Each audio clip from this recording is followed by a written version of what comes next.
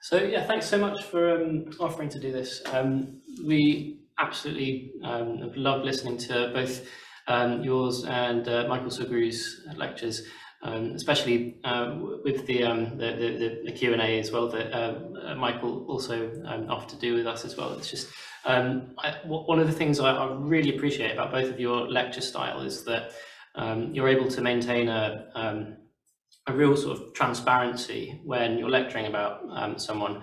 Uh, you lecture from um, their point of view.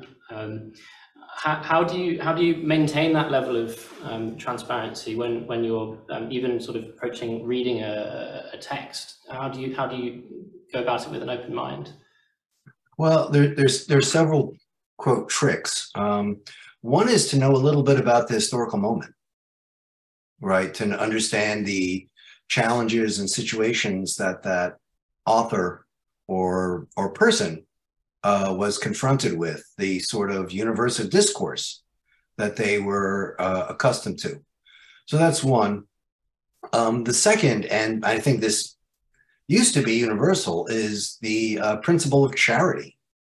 That you every prince every time you are confronted with an argument, position, or um, or philosophy, uh, you interpret it in the in the most charitable way possible, so such that it makes the most possible sense. In other words, you try to sort of help the author out, um, and that's not necessarily the most accurate view, but that is likely to be the view that the uh, the author had.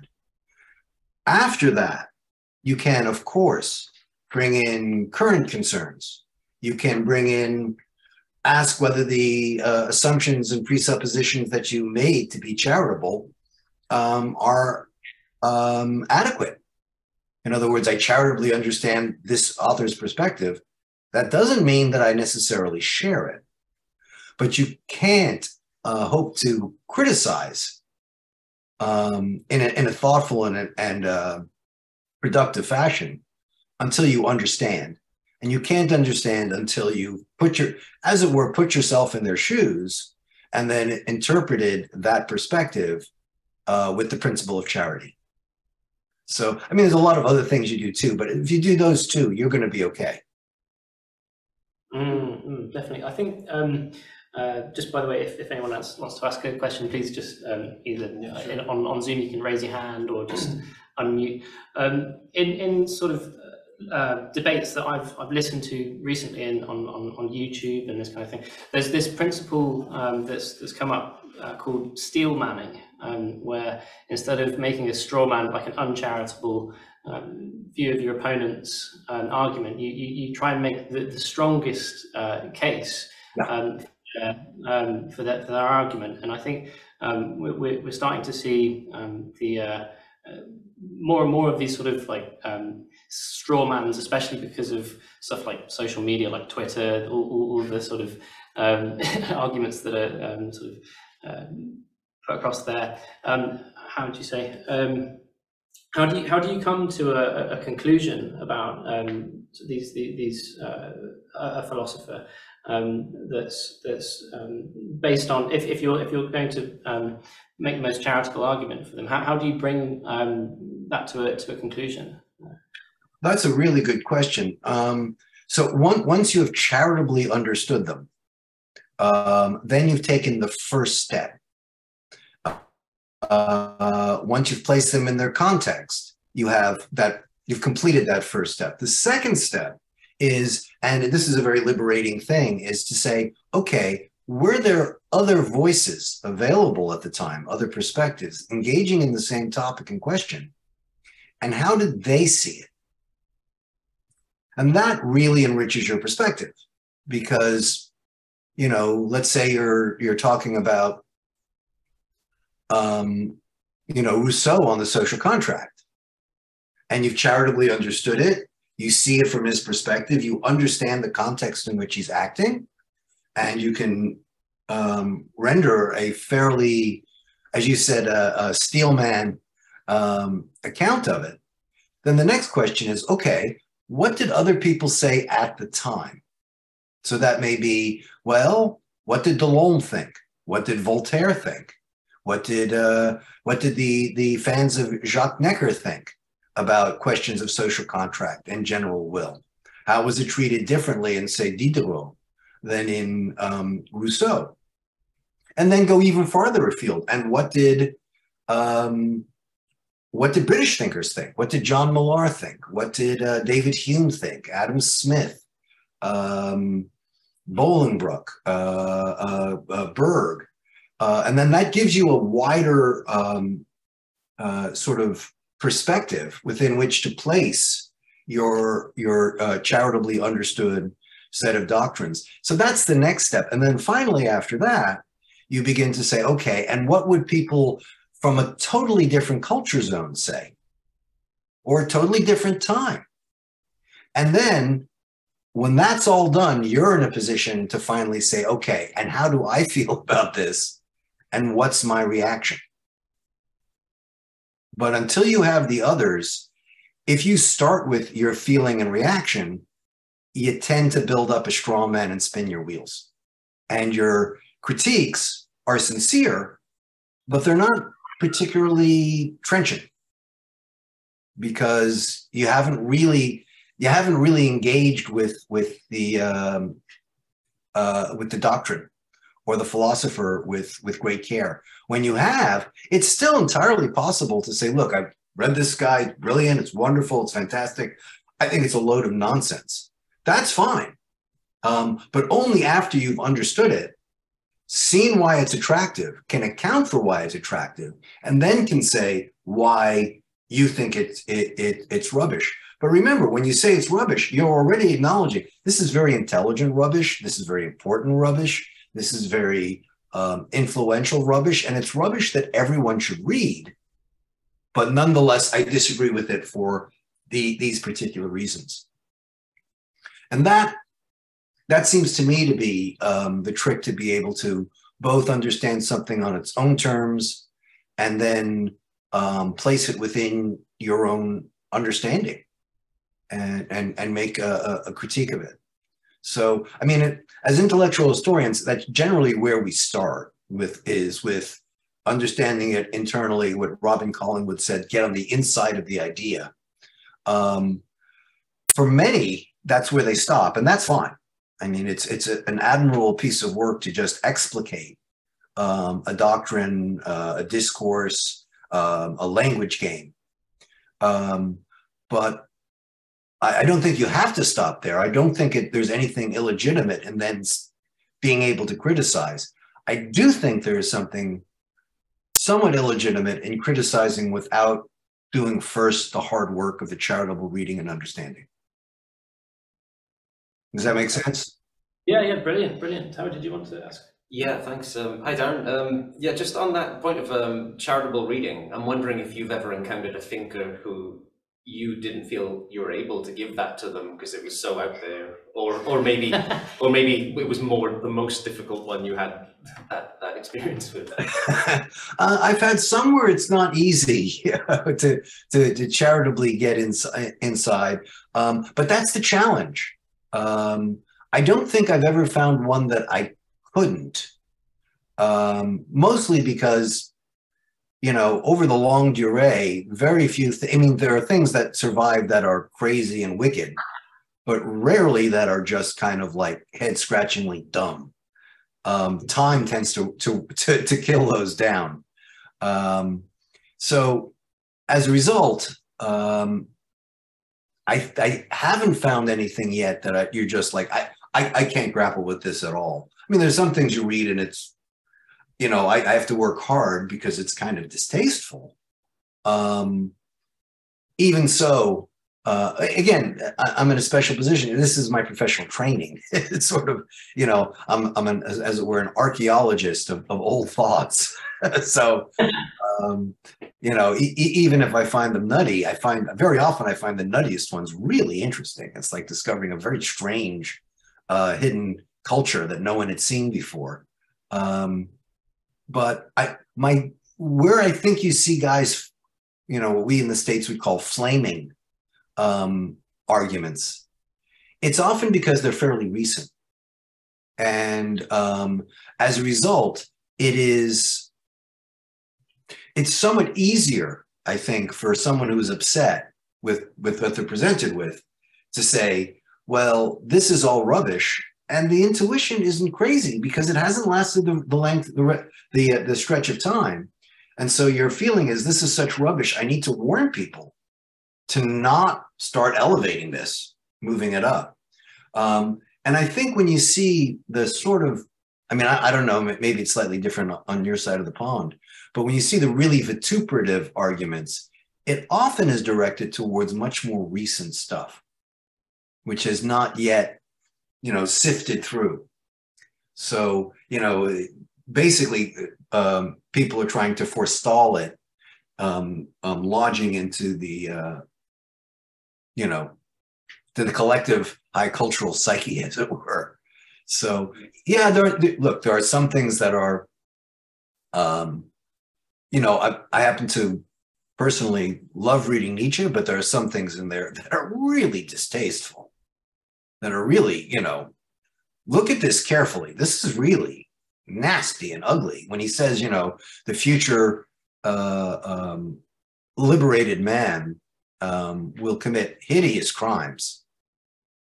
And you know it's good. And it's like they actually did. And it wasn't so good. And you know you, you, know i don't think frederick nietzsche was someone who wanted to see mass butchery. I don't think so at all. But it's a, a moment like that when you're reading him and you're trying to appreciate why he's saying this. And there are good reasons for him to say it good reasons for him to believe it. But at the same time you, you do step back and say yeah but i mean you're kind of a bit of a nut you're really valorizing things that you've never seen. I mean, you see this, for example, in, in writers who um, valorize uh, war or you know talk about its important metaphysical function or moral function. And it's not that they're wrong and that there isn't a point to it. There is. Um, I find it much more palatable when I read it and say the Scottish philosopher Adam Ferguson because he was a soldier, right? And he knew it. Um, when you read it from someone who's never been at the receiving end of a long barreled rifle, yeah, that really tests your charity. Like it's great that people are out there fighting for this ideal, but I'm not and my kids aren't. And then you're like, well, hmm, I mean, there's still something to it. I mean, you do have to do the discipline of trying to be appreciative and understanding. But yeah, that that things like that are a bit of a challenge. That's great. Mm, you said in one of the um, recent Darren and, and Mike unplugged um, videos, which is absolutely amazing, I love it, um, where um, you said something along the lines of there's been a dark thought that's characterized um, each of the centuries. Um, uh, I was wondering, um, what do you think the um, dark thought um, that characterizes our century is, and what I was wondering what what what, what your thoughts are on that. Yeah, uh, 21st century. It's hard to say. I don't think I, I don't think we've had enough of it yet. You know, you mm. need to get more perspective to be able to see it. Um, so it, it, it's hard to say right now. Um, yeah, I'd, I'd, I'd, probably take a hard pass on that. I mean, it's tough enough to see what it is for the 20th century. Um, my guess is there, I'm leaning towards Heidegger. Mm.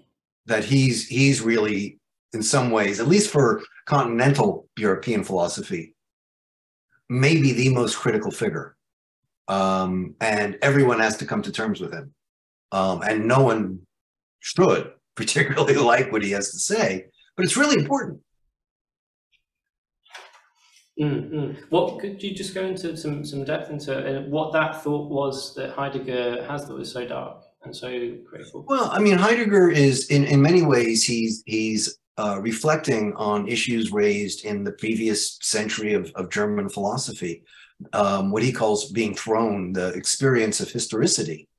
Um, and I mean, that's been an, an issue at least since Hegel, if not from since Herder and Fichte and Novalis. Um, so, I mean, that's an important issue. His his answer to that, which is very existential, which is to feel authentic, and learn to sort of be yourself and and transgress because the world as given is unpalatable um that has you know it's a very interesting philosophical practice uh, idea. And then when you ask what would it look like in practice? Looks like what he did. He put on a swastika. Mm. yeah. And he never felt bad about it. Never apologized. Uh we have a question. Should we jump to questions and answers? Yes, I think is it Abhishek. Yeah, hello. Can you hear me? i can abhishek how are you I'm doing really good. Thank you. Um, really amazing answer uh, for the question regarding how do you represent an argument uh, um, with with any kind of authenticity, so that it can actually be discussed in a legitimate way. Um, my question is uh, related to that, or follows up on that. Is that how do you get people to do it? Because most often people are uh, people are tackling these. These issues on a daily basis almost. Uh, for uh, I come from the country of India. Several times over, people's uh, um, people in the right, the so-called right wing of India. I don't think there's a left-right clear division in India, however. But the but the the equation the, the equal the equivalent right wing, let's say of India, believes in Hindu nationalism. And one of the things that they that they do is they are twisting history and they are putting blame on like they are looking at the entire history of India as one major arc, which it isn't. And then they are saying this is why this has happened, and that's why we need to take back our country. And that is that is enabling so much hate and strife and crime in India currently.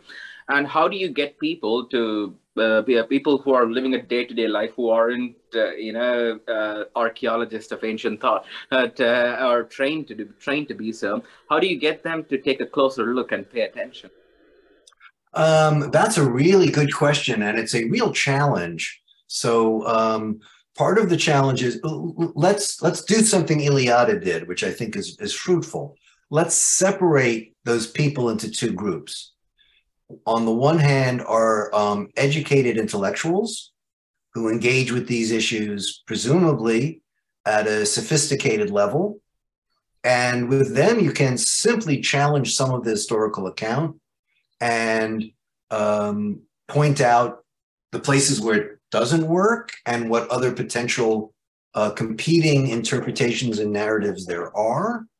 Um, but one of the things I found that uh, in Eliade that was so useful is he said that for the vast majority of people, they don't actually much engage with these ideas. And if they do, it's in a very, you know, propagandistic, sloganeering way. And so, it, it- again, depending on on the case. In this case, I think you're talking about the uh, the pursuit of, of Hindutva, um, and and uh, you know, sort of militant Hinduism, exactly by the rss and the bjp right? By RSP and and, and Modi, of course. Um, so again, I, I, were it me, I would first get into it internally. Say, okay, how do they understand the world? What is their vision of history and of um, the role of Hinduism in particular, and their understanding of the history of Hinduism in forming uh, Indian identity and Indian mission? And once you've done that, then you can turn to your audience and say, look, these are the reasons that you're attracted to it. And it's understandable. There is something to it, there's something to everything. But is it really even adequate to its own tradition?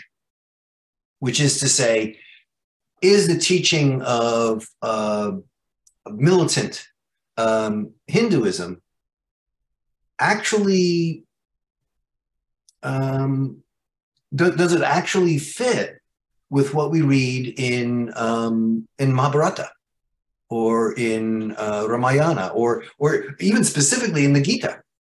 And you It know, kind and, of that's the issue because the Bhagavad Gita actually was procla- was said just at the start of a war uh, to justify it. So yeah, that's right. But but when it does it, and this is uh, this is wonderful because we're coming back to Mircea Eliade. He was very interested in that. He said, "What's interesting is um, what what Krishna is teaching, right? Is uh, you need to fight this war, um, but don't think that your fighting, your decision, will make any difference. The war has already been fought cosmically. The results have already happened cosmically. All you need do here is do your duty. And the way to avoid having karmic attachment to the sins you will perform, because you will kill your relatives in this battle, right? And those, those are his cousins. That's Drona, that's Bhishma, all the people he he loves. He is going. Uh, Arjuna is going to kill. How do you do that? Well, you do it through practicing not militants, right? But um, but the but the yogas, right? The yoga of wisdom, the yoga of of action, and the bhakti yoga. And once you start raising that whole issue of the high, high, high, high bhakti yoga, that sense of acting without attachment to the fruits of your action, boy, you've taken most of the wind. You may still have a, a Hindu party, but how could you possibly have hate and anger when you realize everyone who prays to anything is praying to Krishna? He accepts all their prayers whether they're Hindus or Taoists or Sikhs or Muslims or Jews or Christians. That's in the text. So you can find in uh, a reading of, Ma- of Mahabharata and of, um, uh, of Gita, which justifies war and conflict. Absolutely, that's the center of the story. But it's transfigured into a spiritual event and one that you fight in your heart as much as on the battlefield, right? Because the field of the elephant is also the field of Dharma at the same time. And so, you know, the answer would be look, if you really want to be militant in your Hinduism, you don't do it in the ballot box. You do it in your soul, you do it in your mind. And um, I think that actually, for um, non intellectuals, will probably have a lot more purchase which is to say, forget the big historical cycles. In your own life, you have struggles. When you do it in a pious way, do you hate the person you're struggling against? Or do you just realize, I have no choice, this is my duty, but there but for the grace of God go I?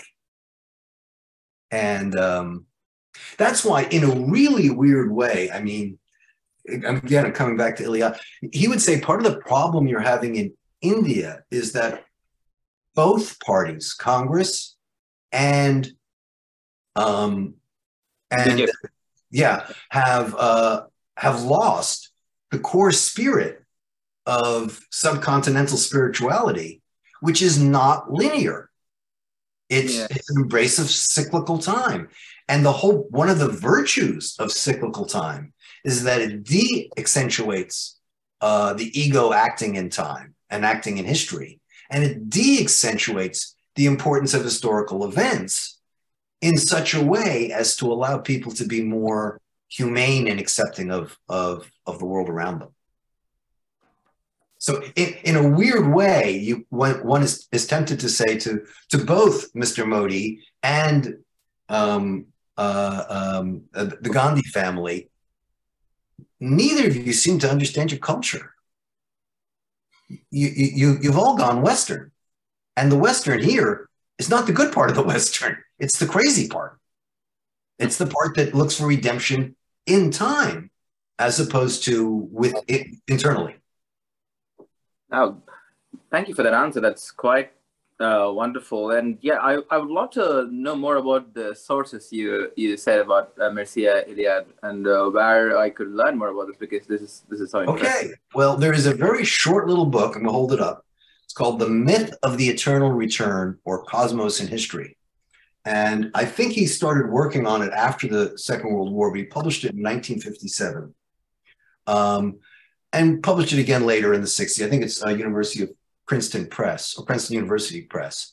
Um, and, you know, it, it's a very polemical piece because he'd also written a wonderful multi volume history of religious ideas, which just, you know, soup to nuts gives you all the details because he spent his life working on it. Um, but in this one, he makes a case, and I, I think Eliade actually was very taken with subcontinental philosophy, um, like uh, Mueller and others. Mm-hmm. And I, I, think he thought that you know, uh, um, modern Western man or Western uh, society has become obsessed with historicism and it has driven it kind of insane. And it has led to, you know, real tragedies in history. Um, and uh, that the burden we're putting on people to live with this burden of history is terrifying and it's not sustainable. So it's it's a very interesting book. I mean, uh, um, one of the things he he he points out, and what makes you know a good sympathetic or charitable reading of things, uh, which he does, shows you that there are a lot more things out there than you think. In other words, you come in, you've got a thesis, and it's like you've got a hammer. Everything's a nail, and anything that isn't a nail isn't even there. If you open up your toolkit and look at all that's around you, you'll see that not everything is a nail and not everything can be hammered. So, one of the things he looks at, I don't know how much you guys um, examine this or if you ever read Eliade or any, it, but if you if you're interested in, in subcontinental thought, you're certainly aware of it. Is the idea of a cyclical time, right? That time is not linear, that it's the same patterns repeating over and over again, which is a position that the educated among us uh, in the West um, seem to have rejected um, with the coming of historicism. You know, some ways he argues beginning of the 17th century, but clearly Hegel and Marx and Sartre and all of these figures and Heidegger um, there is uh, adopting the historicist view.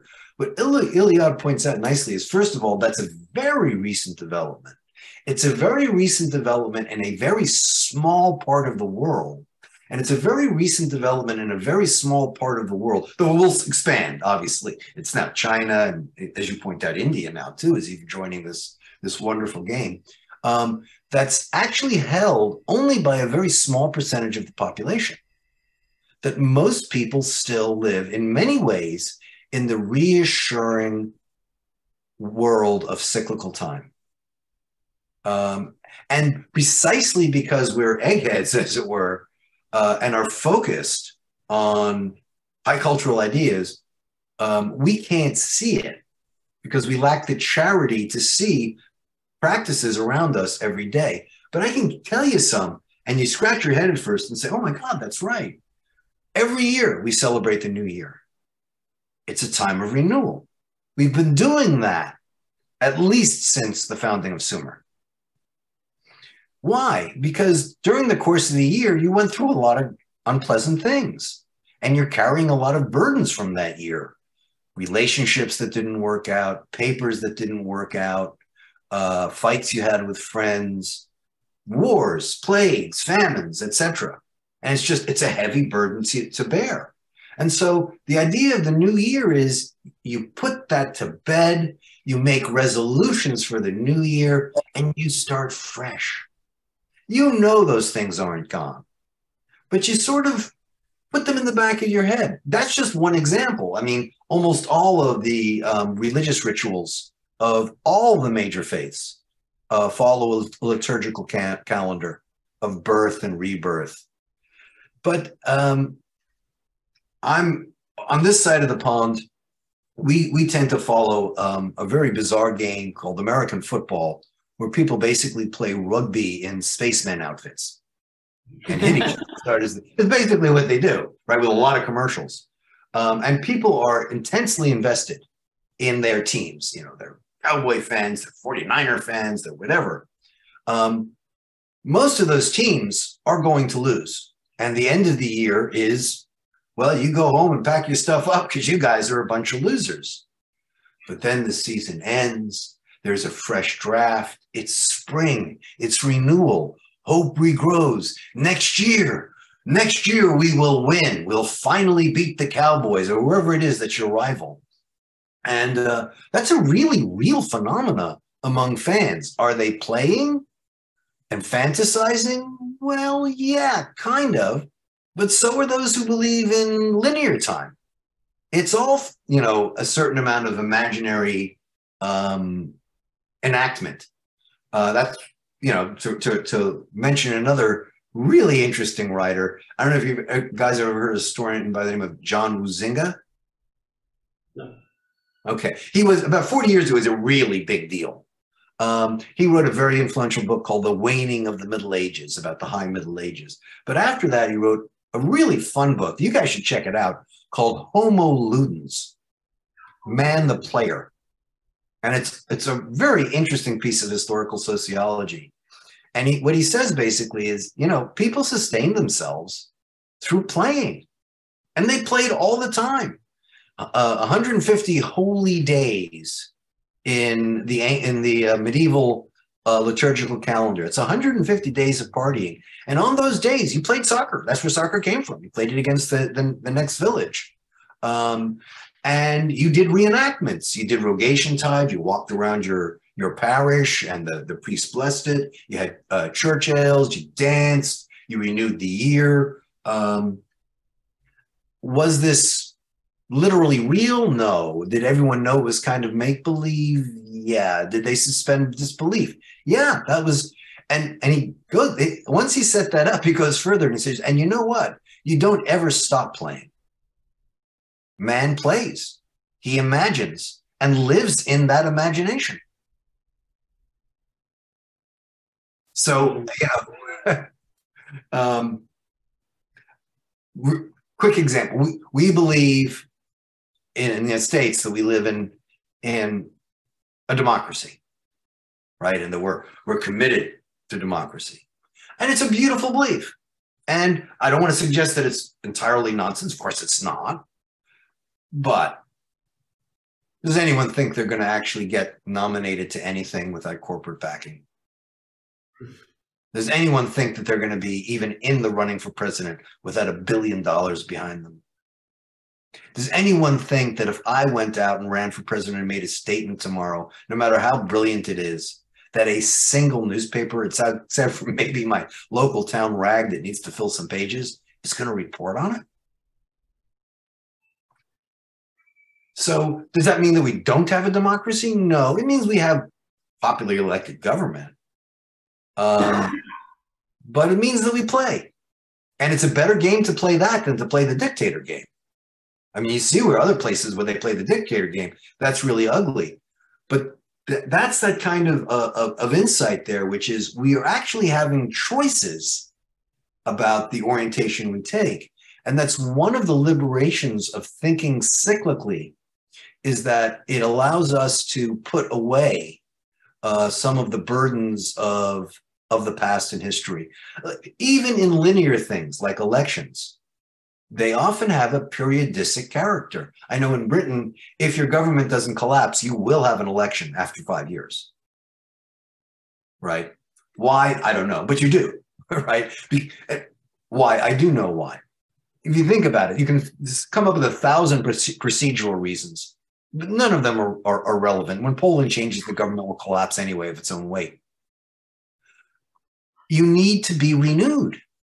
Every time there's a, a, a new election, it's like Great Britain, the United Kingdom is born afresh. It has a new, fresh start. It's it's the beginning of spring. It's and, and you give that glorious sort of springy feeling and celebration of that first visit to 10 Downing Street. Similarly, when um, when um, uh, His Grace is crowned, which is coming up, that will be a new age, a new birth, right? And it'll be surrounded with all of that symbolism. Now, as college educated people, we can poo poo that. Um, and Eliade says, well, you do poo poo it. But for regular folk, they don't. That's important. And um, one might argue that that's one of the reasons they might find the burden of history um, less heavy and dealing with different thoughts less fraught uh, than those who take time seriously. Because if you take linearity seriously, things are irreversible. There's no going back and there's no atoning. And so that puts a very heavy burden on you. If if you're about to vote in an election, I don't care which party you're voting for, but if you take if if the the horizon of meaning that is real is the here and now, the the thrownness, the ontic, um, uh, of which Heidegger speaks, your responsibility on that election is cosmic. And the odds of your getting it wrong are very high. And you have to wear, bear that burden till the day you die. That's not easy, right? And that makes it very difficult to make any decisions also. If you think about it periodically, well, I'm going to vote for you know social democrats this time and if it if it goes to crapper well there'll be another time. I'll try someone else. Um boy it's much easier and it's also once you've made that commitment i am going social democratic right? That's that's me. I, I think that's your third party right Uh, Liberal Democrats. I think so, yeah. Liberal Democrats. liberal Democrats, sorry. Liberal democrat. If you think i'm going liberal democrat um and that's that's the answer for us. That's that's what history demands. What do you make of people who don't? Of people who wind up going labor or tory either they're blind and stupid and if they're not they're wicked and they stand in the way of redemption. Boy that's not a pleasant thought to have between your ears. That's not a pleasant way to live right? Because that may be your your cousin your brother your girlfriend. So that's you know I- and you know this is all a sort of side uh uh comment from the issues that Abhishek raised but that's one of the um, reasons why he, he would say for all of the centrality of our historicisms today probably most people on the planet are immune to it they don't live in that world. For them, yes, there are linear things, there are wars, those are important. There are plagues and famines and contagions, and all of these are important. But what they put at the center of their understanding of, of their temporal existence is the circular, the cyclical things. Well, uh, my cousin just got married.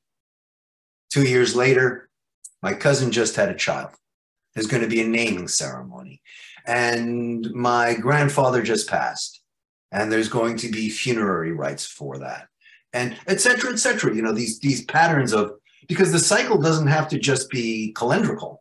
There's the life cycle too of birth, of youth, of maturity, of, of old age, and then, of course, of death. Um, if those are seen as just a one dimensional finite temporal thing, then you're left with Camus and Sartre's terror. You must face the reality of, of death, that you were born and you will die, and everything you achieve will be forgotten. But if you look at it, you know, in terms of the traditional patterns, then it's like, well, of course you go through these things. So did your grandfather, so did your great grandfather, so did your great great grandmother, and someone will after you too. And uh, precisely because it's preordained and necessary and essential, it doesn't carry quite the sting. It's not as important. So, I mean, w- one example of this, and um, again, to go back to the subcontinent, is the idea of the Mahayuga, the great age, uh, and with it, the idea of eternal return, which is that things don't just head in one direction, that everything that happens has already happened and it will happen again. So this is consoling if you haven't read it. So the Mahayuga argues for um, a great age, and many great ages make up one day in the life of, of the deity. But a great age uh, in- includes four distinct sub ages. And by the way, this is not unique to uh, the subcontinent. You find this in all um, of the uh, pre Levant um, religious traditions. Um, there is a, an age of, of gold, an age of silver, um, an age of bronze, and then or, or, or iron sometimes. Um, and then in the Hindu conception, it's called the age of Kali, and that's the age of darkness. So in each of these ages, people live less, uh, shorter lives. Uh, you get this also in the Old Testament that you know each generation lives shorter than the one before because time wears things down. So the, the, the world's less fertile, becomes less fertile. People live shorter lives. The gods become more distant. and um, uh, and and social and personal relations become um, harsher. So at the very last phase, the the phase of Kali, um, people don't live more than you know eighty to hundred years, and um, nature uh, only yields when it is carefully cultivated, and uh, people have replaced uh, ag- uh, the centrality of agriculture and cattle t- tending and warfare with business and commerce and shaking money. So this is Eliade argues, and and and and I think he's right. This is a deeply consoling um, doctrine because obviously, what time do you live in of those ages? We are in the Kali Yuga. Always, everyone who's right. Every, everyone who's lived in what we would call history, not in, in mythic time, but in history, it's always been the Kali Yuga. That's reassuring because, okay, things aren't good. It's not your fault. Things aren't good because it's a machine and it's time for it not to be good. And when it's done not being really, eventually we'll start electing, you know, senile old people to office. And then the universe will collapse and it'll start all over again, perfect gold, and it'll be renewed. So that's a very, you know, that kind of an idea of uh, of cyclical destiny that, you know, your country is eventually going to get old. Um, uh, doesn't have to be um, a, a source of existential dread. Um, it can instead be a sort of, you know, worldly acceptance. Well, that's the life pattern, you know. I'm Dutch. Once upon a time, we controlled the world. We don't now. We were young then, we're older now, but we have a nice old age. You know, we we still have uh, good coffee bars and and uh, rijsttafel. So, you know, it ain't, ain't so bad. You know, sometimes you get old. We're old now. It's our turn. It's our turn to be old. We we we tend our dikes. We we build our seawalls. We live nicely. We're no longer making big history. Okay, that, that's the life cycle. Every country has to go through it at some point, or at least that's that's one conception, and that was a very common conception. I mention that conception because although um, post-Hegelian man is supposed to reject that, I suspect most common folks still believe it and buy it more than the idea of linearity. You know that oh, uh, you, you hear this uh, on, on my side of the pond, you hear this all the time when people grouse, uh, oh, we're going down the road like Rome. Well, you're grousing like Rome, but what are you really saying? You're really reassuring yourself. This is ineluctable. The Romans knew that it wasn't going to be permanent. Nothing is permanent. We're not either. So if it wasn't for that, you would feel horrible. Look at what our, what our parents and grandparents did to build up this country to make it the bulwark of whatever you think it's the bulwark of. And what have we done? We got on FaceTime. That was our great contribution to the world, was uh, social media. Right? That, boy, that's a heavy burden to bear. Isn't it easier to just say, well, look, but these these things happen. You know, um, trying to think of the lines. A great line in uh, in a song called "Oh England" by uh, P.J. Harvey. Um, where she's singing about how much she loves England. It's it's pining for the, you know, the the, the results of the First World War, and she says um, the people they stagnate stagnate with time, like air, like water. She still loves England, but you know, I mean, Bojo, there you go.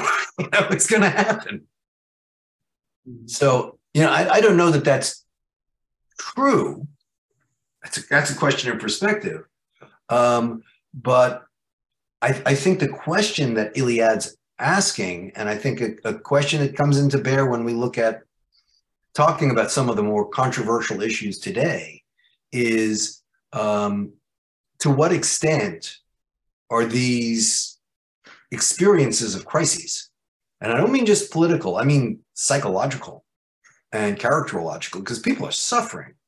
Uh, are they a function of uh, engaging in historical time without any consolation? So yeah, let me give you a, a point of contrast. So Eliade says that, that he believes that the beginning of this notion of historical time actually um, begins with the uh, messianic prophets of, of the Old Testament, and then Christianity and Islam, obviously. And uh, they face history, the events, not as cyclically repeating, repeating patterns, but of themselves meaningful as theophanies, as revelations of the wrath or love of the Supreme Being. And he says, what makes that bearable is that all of those views ultimately will do away with time. That you'll bear the pain now, but there will eventually be an intercession where um, things will be put right, where the guilty will be punished, the innocent will be rewarded, the virtuous will be uplifted, suffering will be eliminated, and the world will be made um, perfect. And that faith that, that that will happen allows one to endure um, the misgivings that or the, the misfortunes that come to a country, but also to an individual in the course of a year or a life or whatever. With a lot more equanimity because there is the, the belief that it's going to work out in the rain, in, in the end, I should say. And um, with that comes a, a willingness to forbear uh, a lot of anger and anxiety and frustration and hate. He says what changed is when you get a quote secular historicism to the extent that we actually do have one. Then it really, then you start getting the the you know the Sartres people who are just like, well, you know, since you've been born, it's too late to kill yourself. And Kennedy says, no, it's not. It's really not. Um, assuming it is, you just have to live in, in, in, in, you know, miserable unhappiness and dread because you're thrown into this world and you have no control over it. And it's, it's not good. And so he says, ultimately, without faith, um, the historicism, living in time and finding redemption in historical time, which is to say, ultimately, politics, um, is unsustainable that it produces uh, incredible psychological and emotional um, disfiguration uh, and pain. And um, I, more and more, I, I, I don't know. What do you guys see? I, I'm seeing a lot of pain out there. Yeah, especially since COVID. Um, we we recently spoke with um, uh, John Vervaeke, who's a cognitive scientist at um, U- University of Toronto, he, he spoke to us about um, his idea of the, the meaning crisis. Um, yeah. Just on, on, on some of the, uh, so many amazing and, and, and, interesting things that you've you've just brought up. I think just as musicians, um, I, would love to ask about this idea of homo ludens because um, with with um, John Vervaeke, we were talking about so in, in order to solve um, the, the, the, meaning crisis that he talks about, he emphasizes the role of uh, serious play. Um, yeah. Obviously, as, as, musicians, that's what we're involved in. Um, we're, we're, we're trying to um, play uh, music uh, with each other very seriously and, and try and engage in, in the spirit of that um, uh, discourse. And um, uh, I guess where, where my, my question is going is, is, uh, is this potentially uh, in uh, well, one of one of my favorite quotes of Eliade is is is, is um, the terror of history is when a man is no longer religious and he has to sort of grasp at the crimes of history without understanding the meaning of them. Um, uh, just sort of tagging on to that, is a long question. Um, Nietzsche uh, sort of says that um, his his suggestion for the replacement of religion by um, by art um, can help sort of alleviate this um, the, the, the meaninglessness. Um, yeah. Um, yeah. But essentially, what, what, what I'm asking is is is uh, this idea of serious play a way to alleviate the terror of history? Absolutely, uh, uh in part because it, it's it's I, I, love that phrase by the way, serious play, because it's both. You you have to take it seriously. You have to be emotionally invested in it and yet you know it's play, right? You know it's artifice. It's the same thing with uh, you know, uh, the, the that idea you mentioned of you know replace um, faith with with with art, and that was the rise of the aesthetic movement and art for art's sake, the Paul Valery's and and uh, um, uh, um, James Joyce's and, and T.S. Eliot. Absolutely, uh, but even there, um, what you see is a a subtle reintroduction of cyclicalism. So if you're you're you engage in serious play musically, um, presumably you are using the same time signatures. You're accepting shared conventions of what is what's the uh, what key are we playing in. Um, even if you're doing free form jazz, there are distinct structures that you're accepting and yet those structures are not determined by the universe and authorized by being. There's an arbitrary element. You agreed to them. They were conventions. You know, we'll do three, four time and whatever, and we'll play in the the, the key of whatever. Um, and the same thing with um, you know any kind of art, whether it it it's painting. Well, look, if you're going to look at that painting and you're going to paint a painting, um, you're accepting certain conventions. I'm going to use, you know, known colors on a on a uh, uh, on a canvas. I am again depending on the the moment, the movement. It may be I'm interested in recapturing the experience of light. Perhaps I'm interested in rendering uh, objects with verisimilitude. Perhaps I want to tell stories, and you develop all kinds of um, structures and canons around them, which give you the architecture within which you can play freely.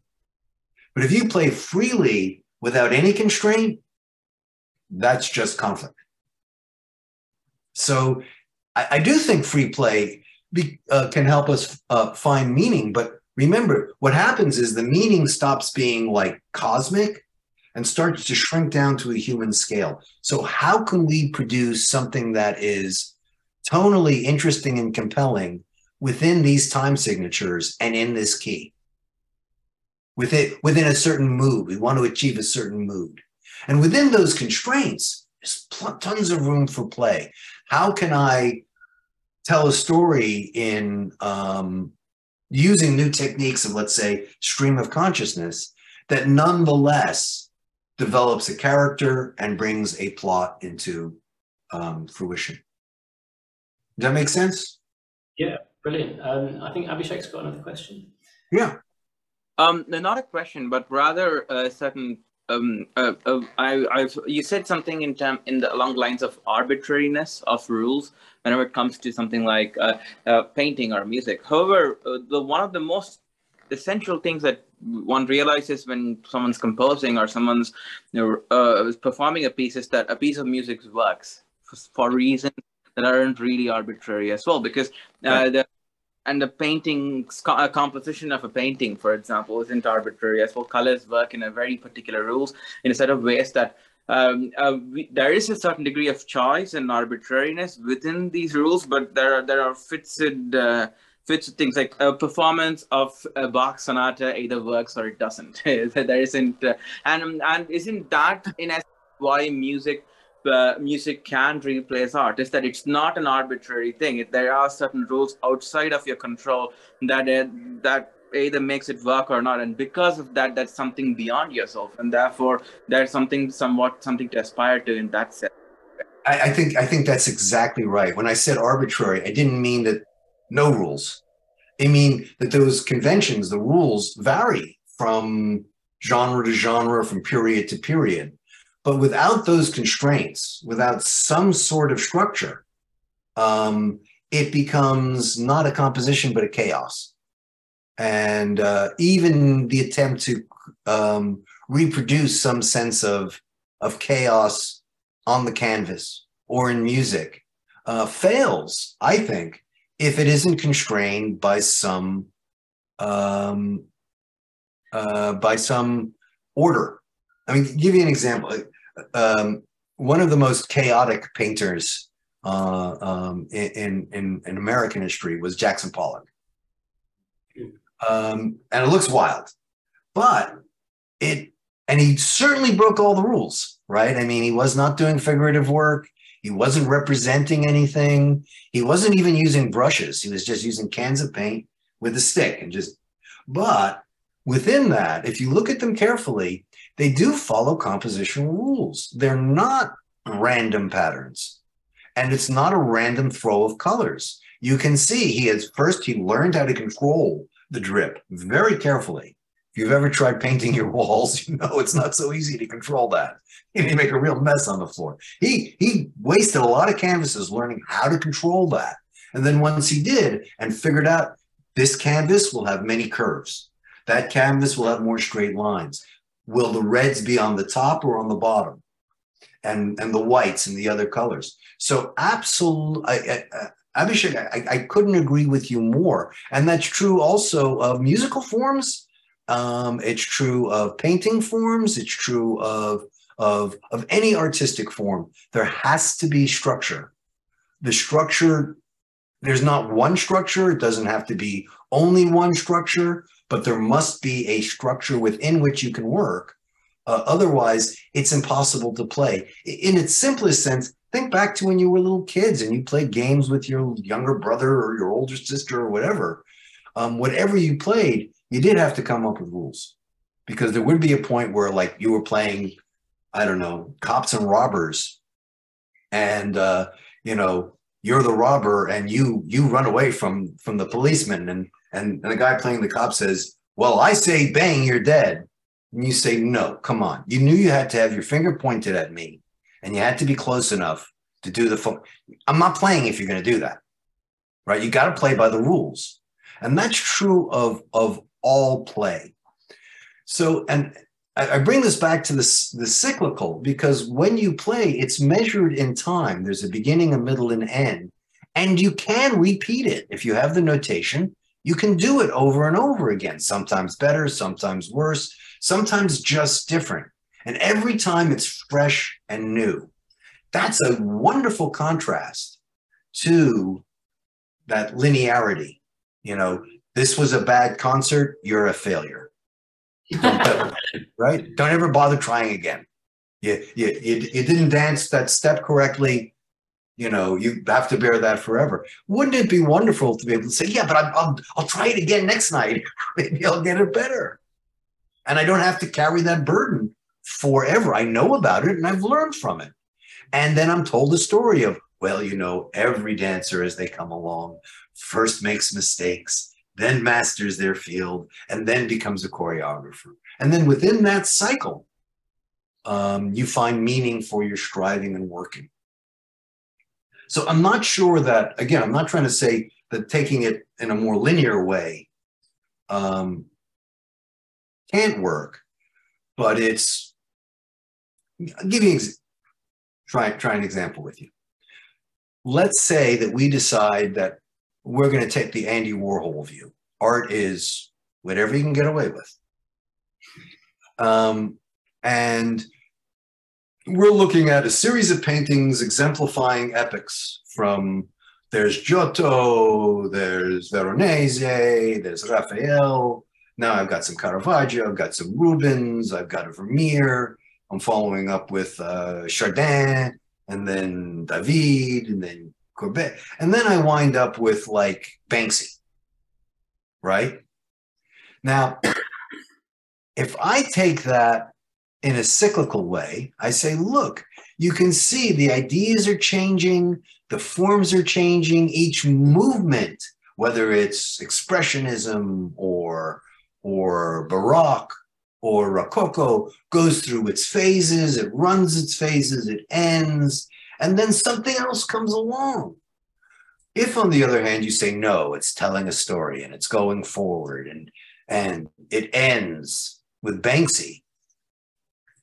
I don't know. I enjoy Banksy, but I'm thinking like, okay, my great grandfather they did Van Gogh. I did Banksy. God, I don't want to carry that around with me. Right? A civilization that produced Gauguin, right? That produced Matisse, that produced Paul Klee, Banksy? Whereas, you know, if it's, oh, no, no, no, these things happen all the time. There was a time when people liked uh, Norman Rockwell. Okay, well, now Banksy doesn't hurt so much. It's like, I, I in fact enjoy Banksy. You know, it's nice and light, but if if this is the end, that you know, we're going to paint rats on the wall and make fun of Rich Toffs being a Rich Toff. it's not, you know, for me, again, everyone pick your own examples, but for me, that's an example of where like, uh, I'd like to be able to say that the art's reflecting a moment and moments past. You know, mm-hmm. something will come after this that'll, but it won't be Louise Bourgeois. Let's hope. Tony? Yeah, um, I was just wondering if you could say a bit more about what you were just saying, Darren, there about sort of what what the the next cycles of the art world and the music world could be, because from my point of view, um, there is this sort of in contemporary art and contemporary music, there's this sort of flattening where yeah we understand so well that any rule can be broken and or could be applied in any situation that we're very sort of tentative about wanting to fix any boundaries on anything, which yeah. in a way is is very good, but that seems to me kind of different than any movement that's come before. And I, I wonder whether we can ever sort of settle down again into into something after this. Well, I, I think it I think it's a philosophically interesting position that you know we are rooted in in in moment and need to you know um, see the transgression of rule. And that's largely what's, I, you know, again, you guys are more tapped into the music um, scene than me, but um, looking at visual arts, uh, and not popular arts, I mean high arts. Um, it, I, I think what, what's been going on for like 50, 60 years is the I, uh, I realization that one can transgress against the canons and uh, received um, techniques and ideals uh, of the past and treat them ironically. And that is a very intellectually compelling and exciting um, ideal. And, and I think you get some very philosophically profound artwork. I, um, the late Arthur Danto made just such a claim about uh, Andy Warhol's work. Having said that, you can also ask, okay, that's philosophically and theoretically interesting. Is it nice to listen to? Is it nice to look at? And um, if you're asking me about where the hope of cycles of renewal are, it will be when the government gets so bankrupt that it can't anymore fund experimental, weird, transgressive stuff, that artists will have to re- rediscover markets. And that will put discipline on them. When you have to make well but we, we forget there was a time when people really liked classical music when people really enjoyed going to concerts uh, in part because they didn't have many other choices um, but in part because the music was much more accessible in that it didn't transgress as much right? The joy of transgression comes after you've mastered the rules, after you can do it by the rules, then you want to free yourself and liberate yourself. But if you can't even do it by the rules, hearing that liberation is just painful. And, and so unless you can, you know, in a work, show the, the uh, audience, this is the rule, this is its transgression, you understand how it's being transgressed and transformed. And now let's see what that means and how to participate. Unless you can do that, it just sounds like noise. In the same way that unless, you know, uh, a museum goer knows the history of abstract painting, they look at Andy Warhol and say, but my kid could do this. Well, your kid can't do it. First of all, it's just not true. It's not that easy. But that is a very common reaction. This is just ugly. Well, of course it's ugly. It's very difficult to, it's a very difficultly acquired taste, right? I mean, we're all older now. We like asparagus. You didn't like asparagus as a kid. It's not a naturally likable thing. Sody pop is likable. Cookies are likable. You have to cultivate your your your, your palate. Um, and to, to bring this back full circle, cultivating your palate is in fact a kind of play. And it's a Mm. deep play. And it's deeply satisfying and fun. And part of it is, look, I learned this new trick. I can do this. Part of it also is, hey, all the toffs, they can do this. And me, I'm a plebe. I can do it now too. It's profoundly satisfying. No, and it's profoundly satisfying to say, look, this isn't just theirs anymore. It's mine. I've got it too. I understand what Miles Davis is doing. I really do. I've read enough about it. I don't have to go to college to get that. Wow. You know, um, some artists. I, I don't know. Have any of you ever read the the novel "Portrait of an Artist" by uh, "Portrait of the Artist" by uh, as a young man by uh, James Joyce? Trying to read it. Trying to Okay, read you had to. So it. As he's writing this book, he's developing new techniques, a couple new techniques.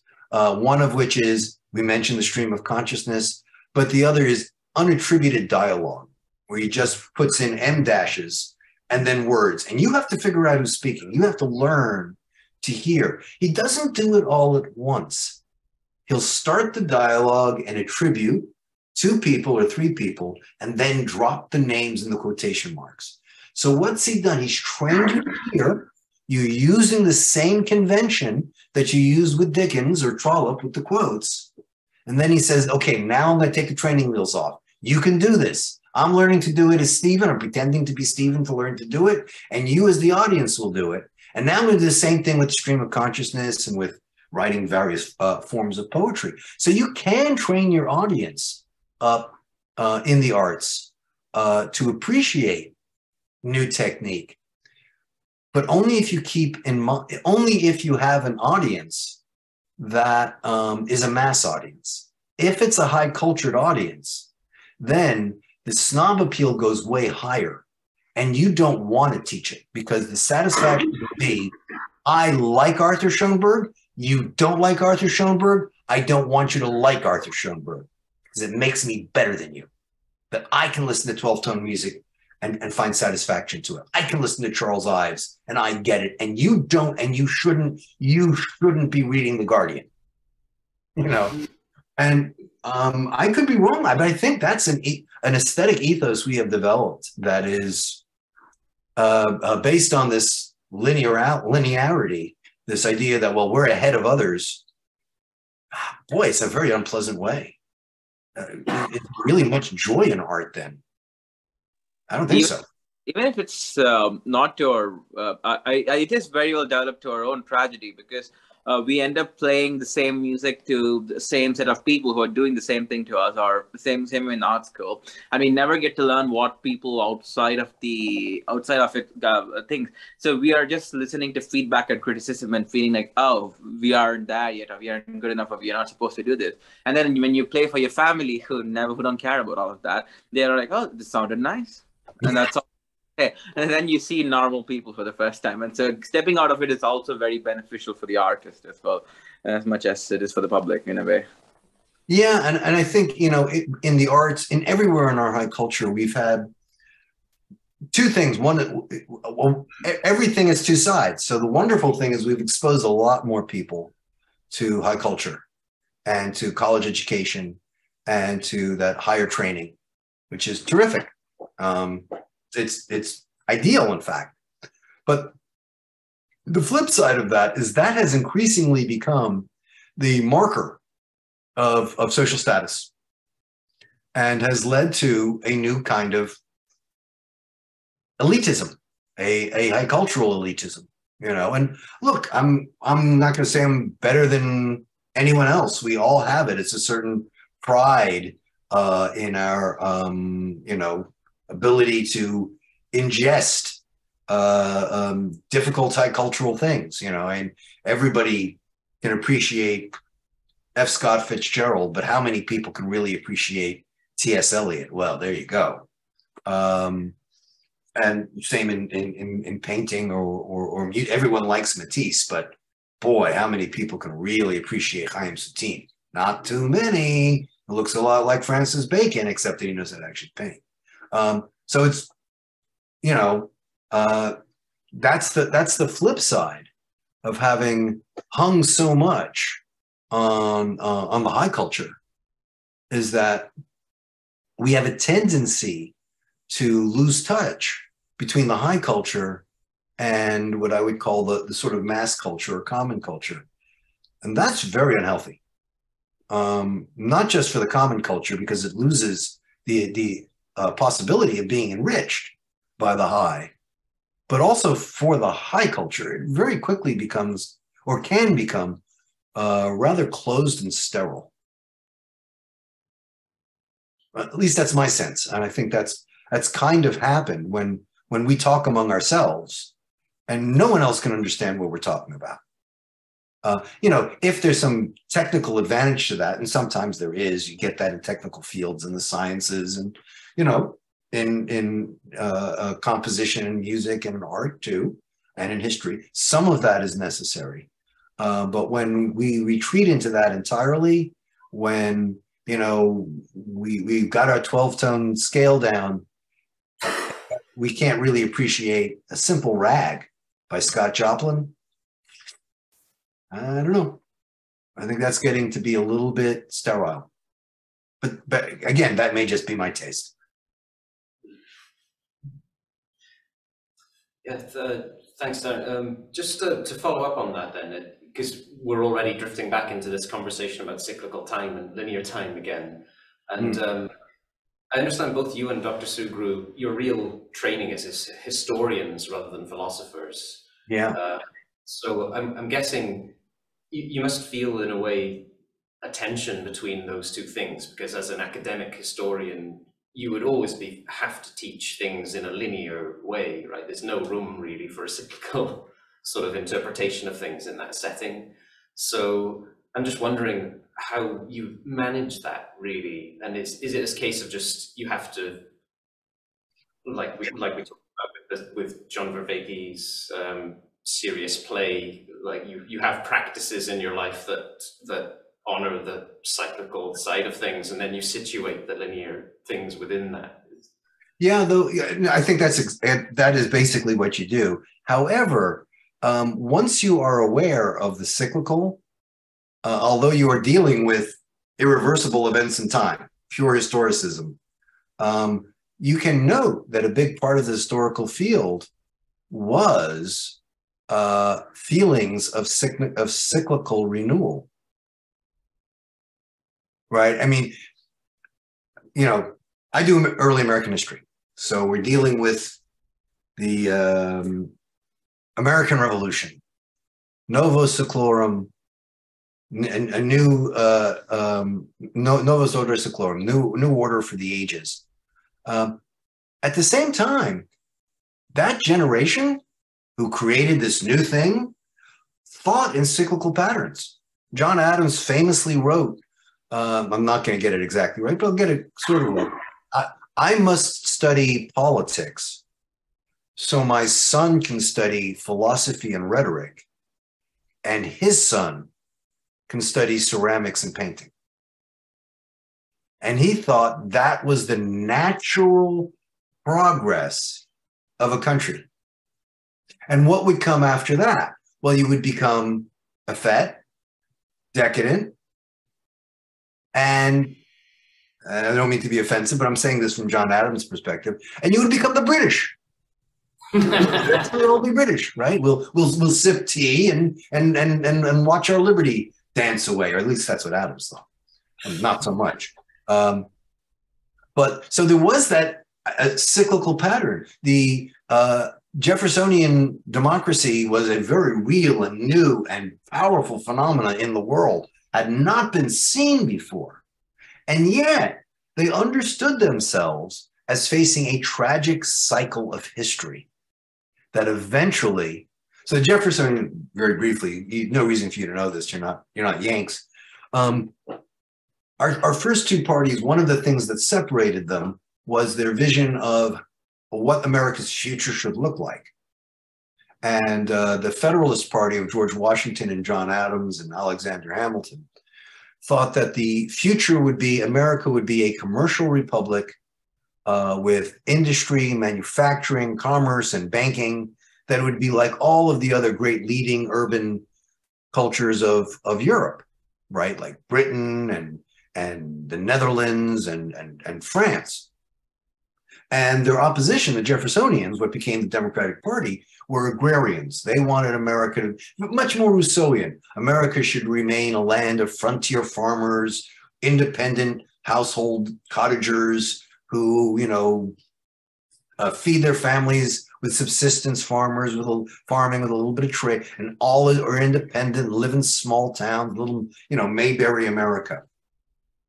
Um, what's interesting is that Jefferson and Madison, while they believed this and wanted this and fought for this and kicked Indians off their land, didn't think it was a good thing, thought it was a horrible thing, but thought it was worth it to keep urbanization and manufacturing at bay. Whatever we have to do to African Americans and Amerindians, it's worth it to, to, to keep our agrarian um, um, character.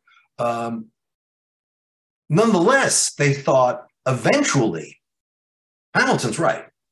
That's the future. And so all we can do is is fight that cycle as long as possible. And eventually, yeah, there will be New York and, and Chicago, and there's nothing you can do about it. But please give us at least a century without New York and Chicago. At least a century. And and hopefully, I mean, you know, if if by by the grace of God, smallpox will decimate Philadelphia, we're saved. oh no, boy, did, did Jefferson celebrate when when plagues hit Philadelphia. It was like, oh God, burn these things down, get rid of them. We'll have to have them eventually, but oh my God, they're horrible.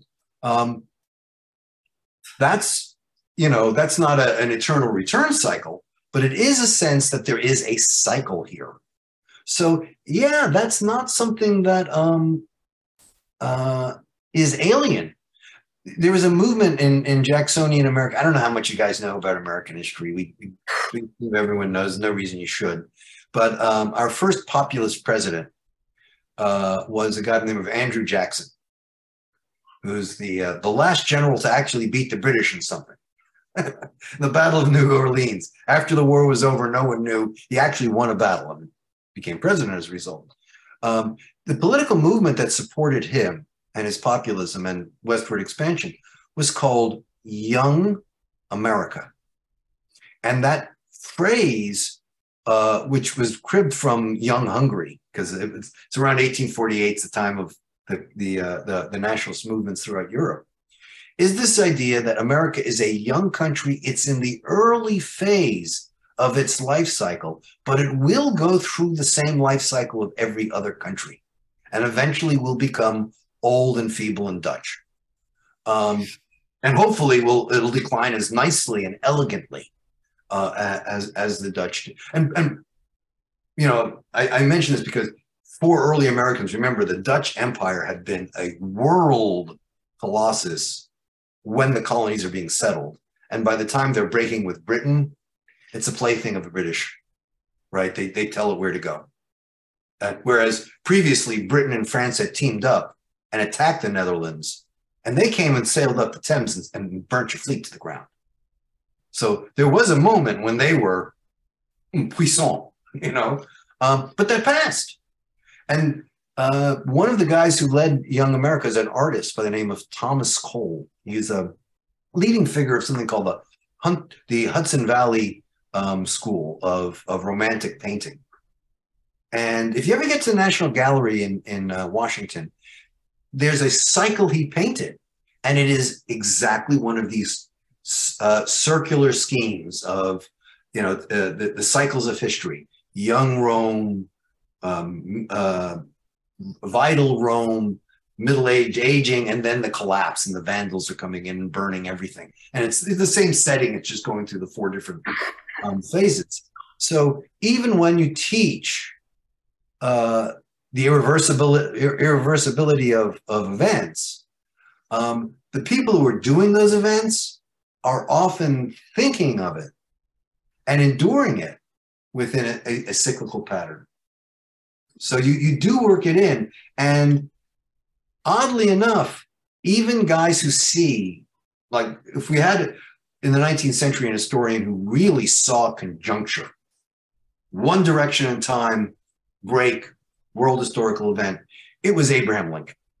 I mean, that was his his understanding of the nightmare he lived through, the, the Civil War, which is by far the bloodiest war America's ever had. I mean, in contemporary casualty terms, if we took as many casualties as we did then, it would have been about eight or nine million dead. So it's it's a bloodbath. Um, and so he sees this as this is a fundamental change. Slavery's gone. A new age has, has come. But when he gives the Gettysburg Address, he says, but we, four score and seven years ago, there's a beginning there, a maturation here, a, a step forward there. And there's this sense of rebirth, renewal. We will, we, we today, we renew the promise of 1776. We, we rededicate ourselves. So it's, it's as if we had a glory, and, and this was actually Lincoln's uh, thinking. We had a glorious revolution not the glorious revolution, but our own, a really great revolution, which was a new birth of freedom for the world and struggled against slavery in all its forms. And then things went south.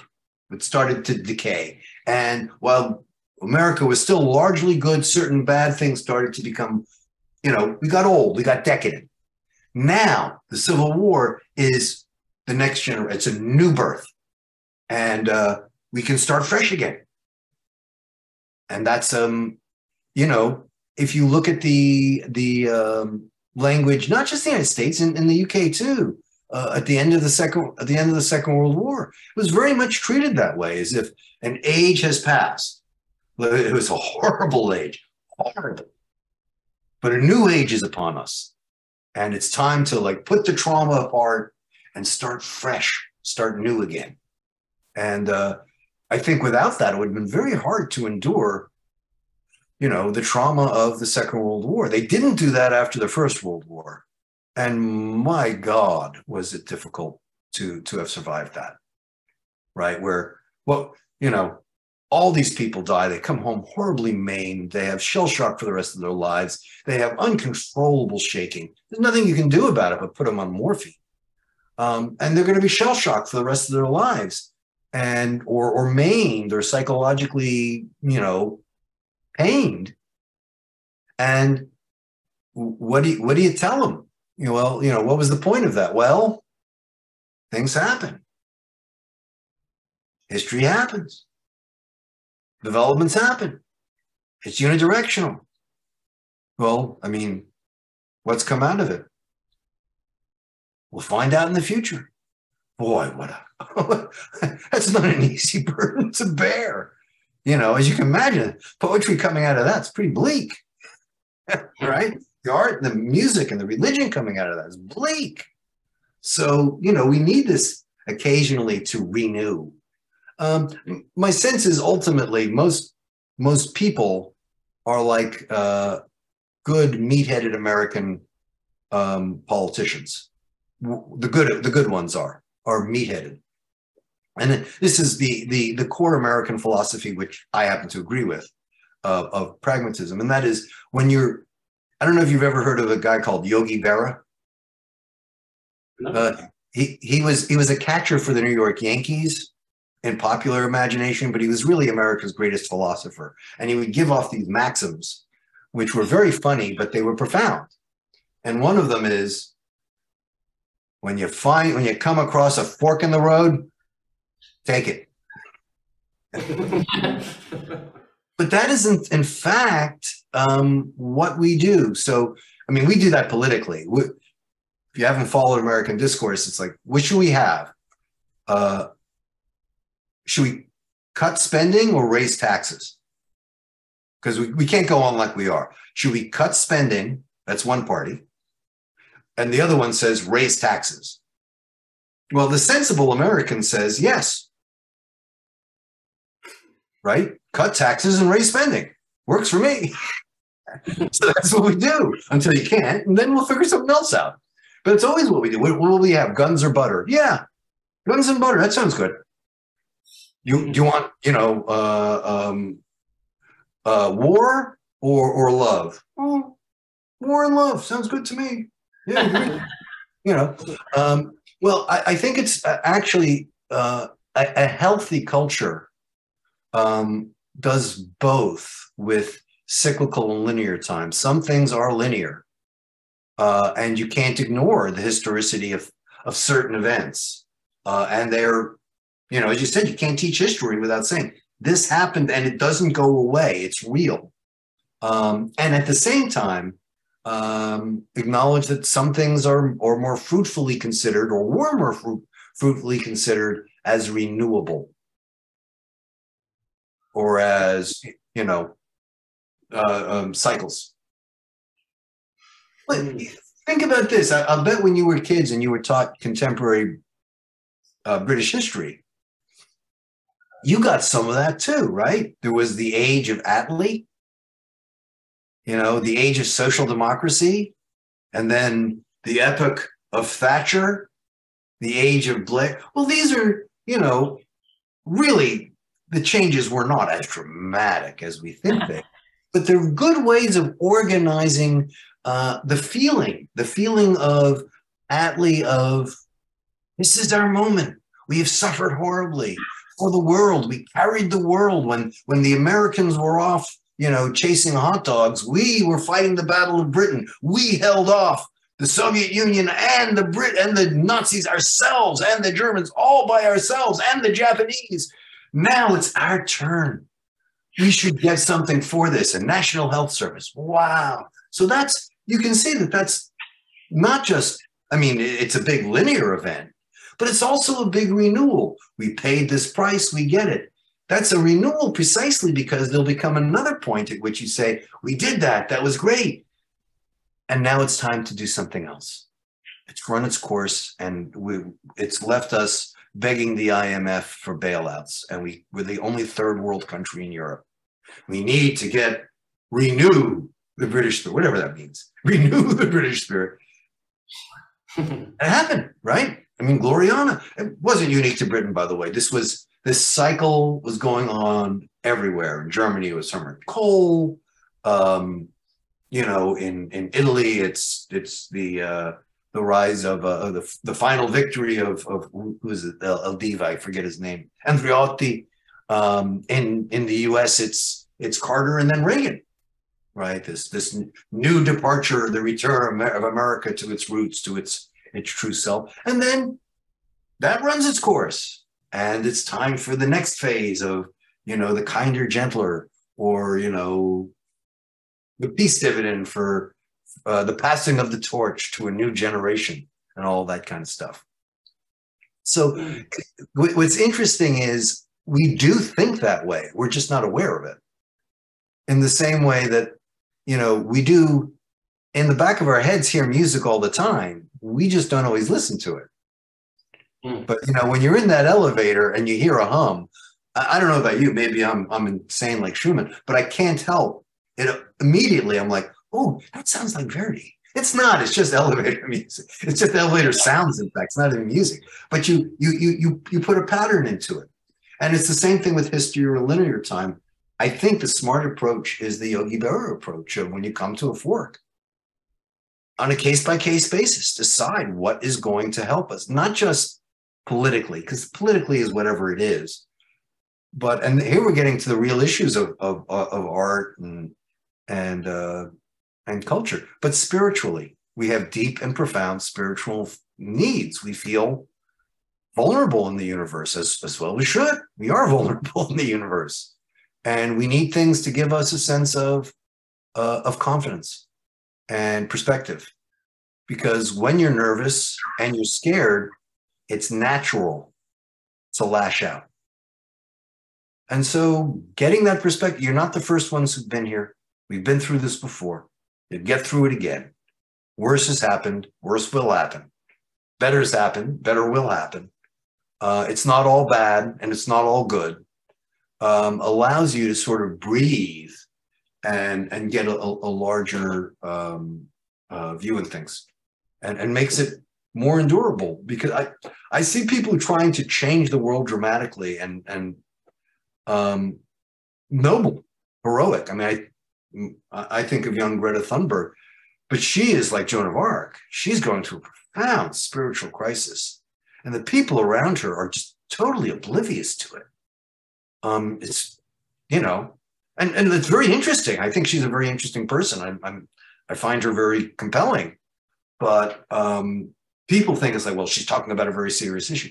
There is a very serious issue in there. Don't get me wrong, absolutely, but she's approaches it like Joan of Arc.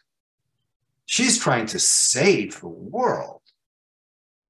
Well, if we're going to be really secular, guys, you're not saving the world. The world's in no danger. The world will eventually die. The sun will supernova. It's inevitable. And everything will die with it unless we build a Dyson sphere, right? But if we have hideous, the worst global warming in the world that you can imagine, it's no danger to the world. The world, world is indifferent. Truth be told, if you know geological history, it used to be a lot hotter on this planet and a lot more carbon. All that meant was there were a lot more life. What you really want to say is this is going to be really hard on humans. Well, now you're getting somewhere. Even there, that's not entirely true. I'm telling you, if you live in Saskatchewan, Canada, global warming best thing could happen. I'm not, I'm not kidding. If you live in Texas, it's not going to be so good.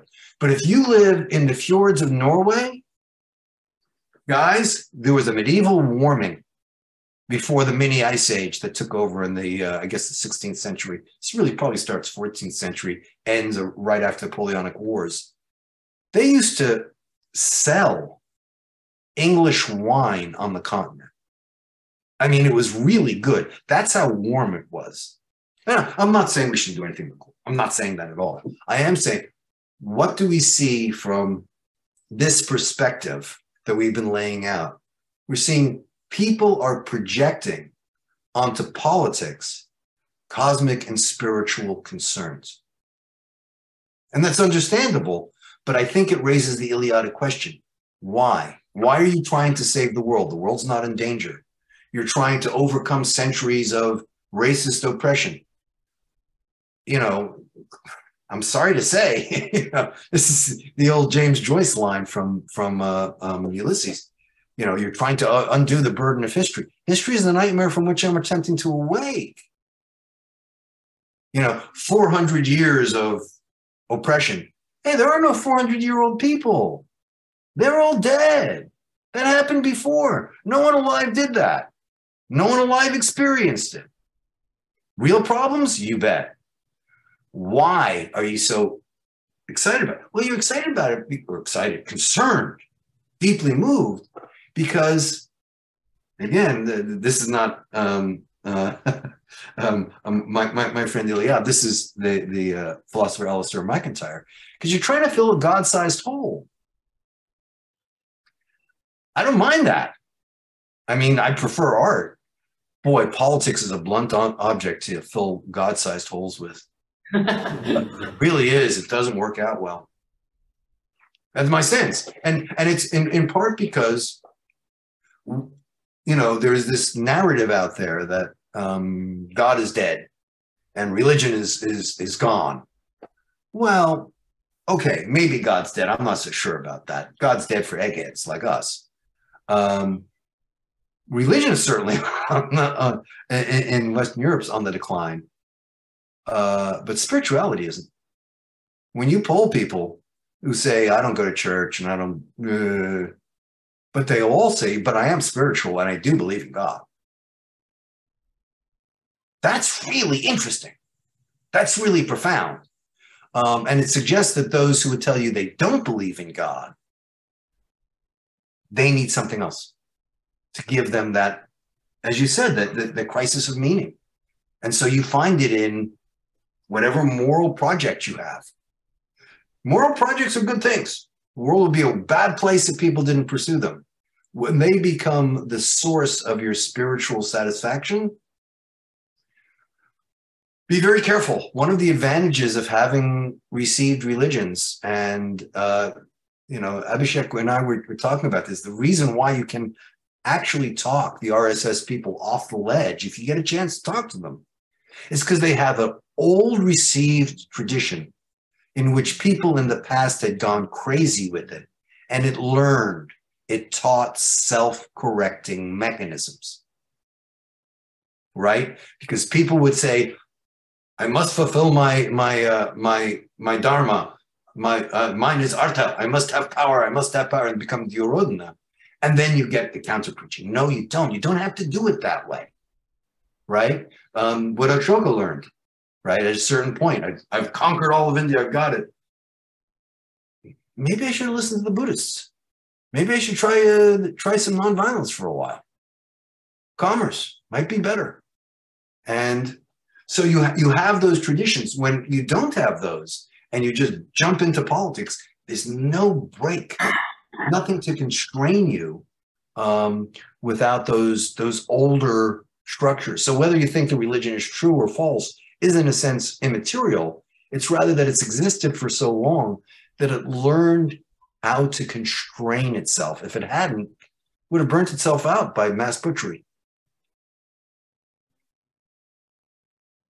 Mm.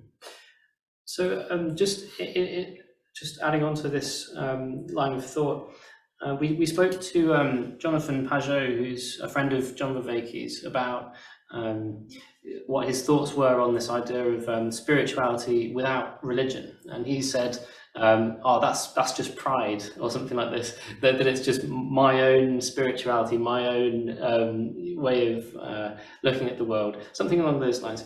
He was saying that the word um, religion, which comes from the idea of um, religio, which is sort of linking, binding together.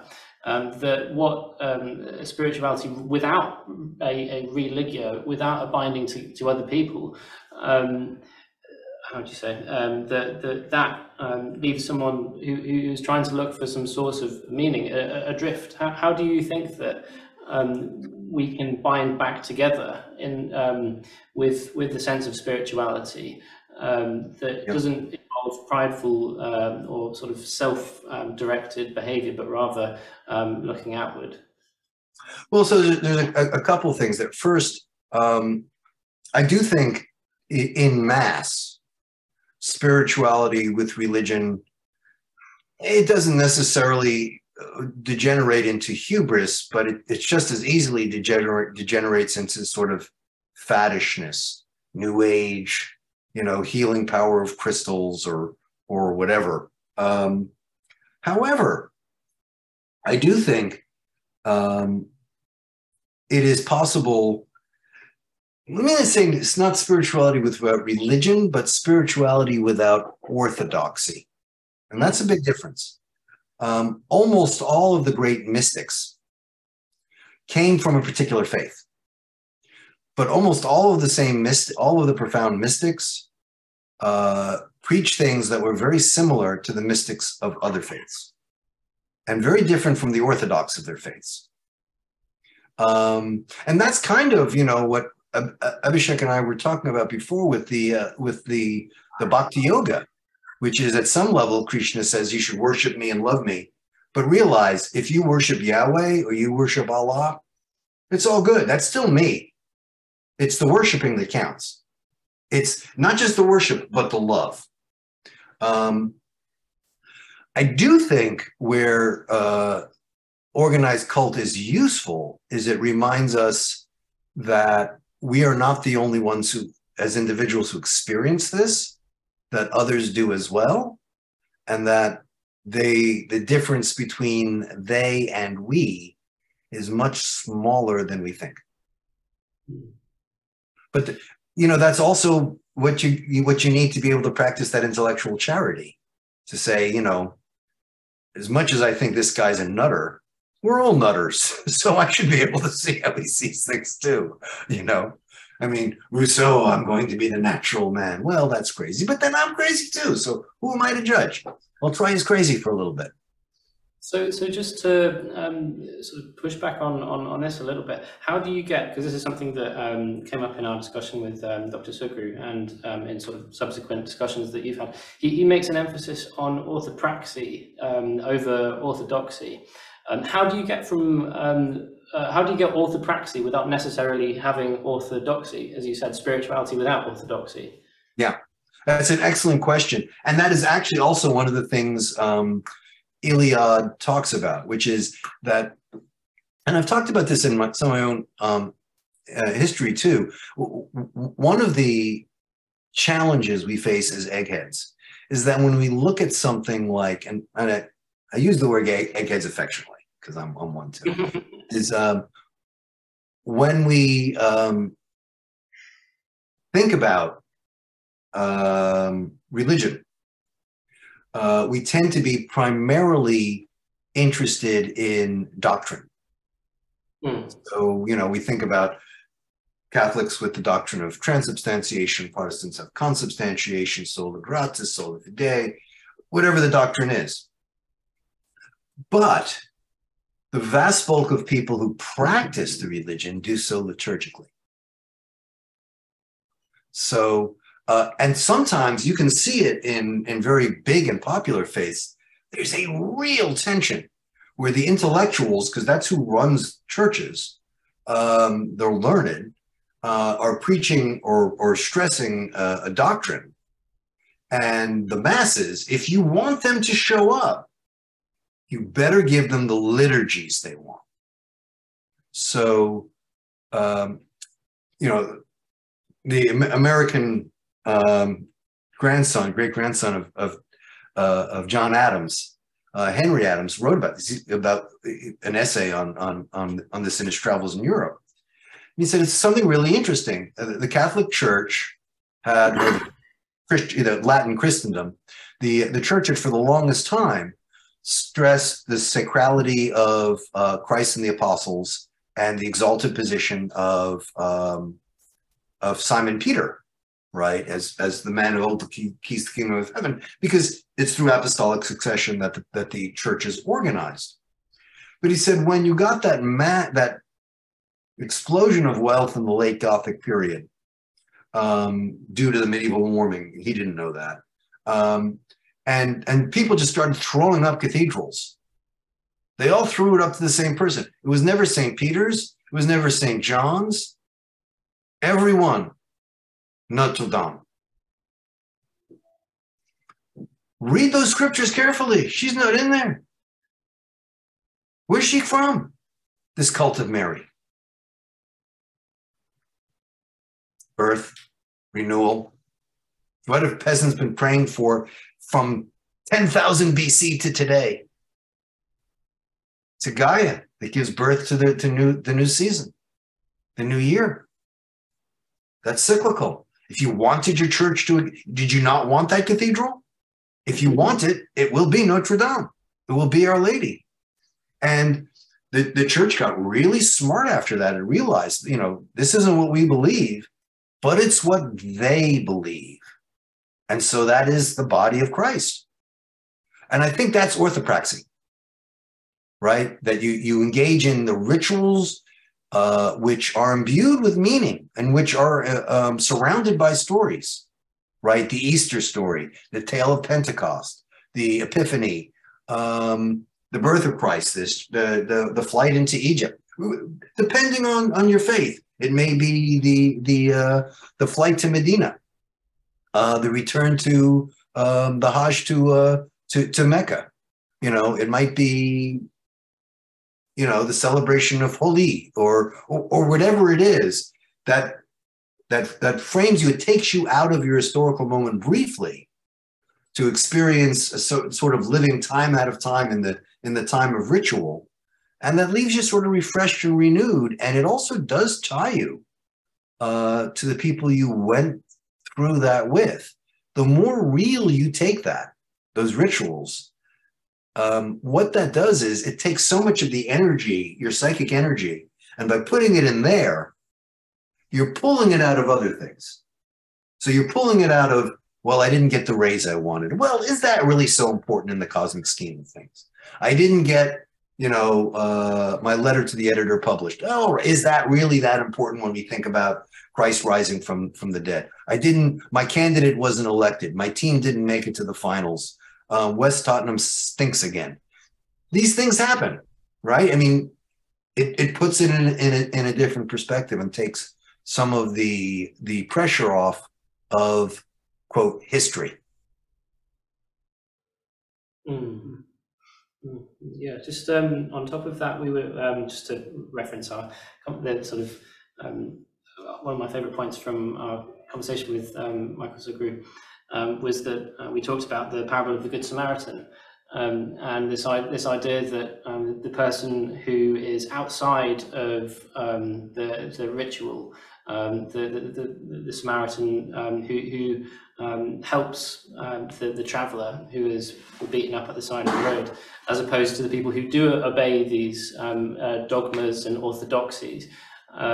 you know, this this is, uh, extends the notion of who is sort of uh, within the, the, the, body of Christ. This this um, idea that people who um, you know are, don't necessarily share all of these you know correct beliefs, these orthodoxies, um, you know, might um, also be practicing the right thing, and um, that's something that extends the um, how do you say this this uh, notion of uh, love your neighbor as, as yourself. Yeah, and and and and, it, and it's important because there's two senses of belief. Um, there is one sense of belief, which is um, these are the doctrines I hold and the account I would give of them. And that's that's the priestly idea of religion. That's fine, you know. And for you know the, the learned, that's what interests us, and that's that's terrific. But there's another sense of belief, which is the um, faith and, and things unseen which is less about the head and more about the heart. And um, it's that which has a more, uh, I would say for most people, spiritually meaningful dimension to it. And it also can be a very, I think for some people, very improving characterologically. Um, because to accept things that one doesn't understand and not to insist that they're true, but to live on them because that's the decision I've made and it's what gives me spiritual solace and comfort is to accept one's limitations. That's that's the first step, I would argue, towards civility, is the um, that sense of you know, something which, again, uh, the people who are historicists and are freaking out now because they've got to save the world, um, one's tempted to ask, and it, it's very easy for me. I work in the Enlightenment, that's my period, uh, Anglophone Enlightenment in particular. And their great contribution was, you know what's going to make you a good person when I teach you this fundamental thing? You don't know. You have a lot of opinions, but very few of them do you actually know. You know math and you know logic. You have probable reasons to believe what you teach in the science class. Everything else is measured to the evidence. They're good opinions and worse opinions, but they're all opinions. And that's what makes you enlightened. Because if you accept that you don't know, you can still fight for whatever your cause is. But you know perfectly well the guy who fights against you could be right. So keep fighting for what you're fighting for. But no, he's going to fight for what he is, is going to fight for. And just as you wouldn't want him to kill you for your heresy, don't kill him for his heresy. Find a way to fight where you don't kill each other. We call it voting. no, it's literally what it is, right? That, that's the answer. Think about it, guys. If you knew the answer to a political problem, why? I mean, knew it, like you know the gravitational constant, like you know two plus two equals four. If you knew it, why in heaven's name would you allow there to be voting? I mean, what an irresponsible, selfish, childish thing to do. There's a truth and a falsehood, and you're going to vote about it? You vote about quantum physics? No. Well, no, but think about that. Then why do we vote? Because we don't know. Labor thinks this will work better. The Tories think that will work better, but neither of them knows it. So they make the best argument they can to the public. They make a decision. When they say, well, we won, it's a turning point, walk away. It's a guess. We're trying your way. If it works, we'll stick with it for a while. If not, we'll try the other thing. My guess is like everything else, nothing will work perfectly and nothing will work horribly. So you'll wind up being Yogi Berra too. right? So try it for a while, then you try something else. And if you didn't, you'd either have found the answer to history, and if you do, please share it. And if you, or you've gone crazy. I mean, I, I don't see much of a, from an enlightened perspective, of a middle ground. And when you say, I mean, this is starting to show up. I don't know if you've got it there over here, where people are starting to say there's certain things you shouldn't be able to argue. You shouldn't be able to say. Mm, yeah, yeah, yeah, yeah. What, what the heck is that?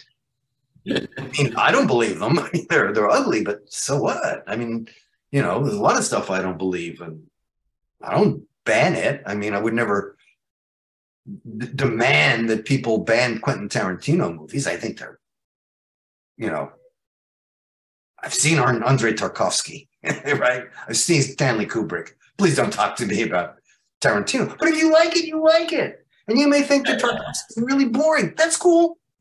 That's fine. We can have an interesting conversation about it if we don't get upset.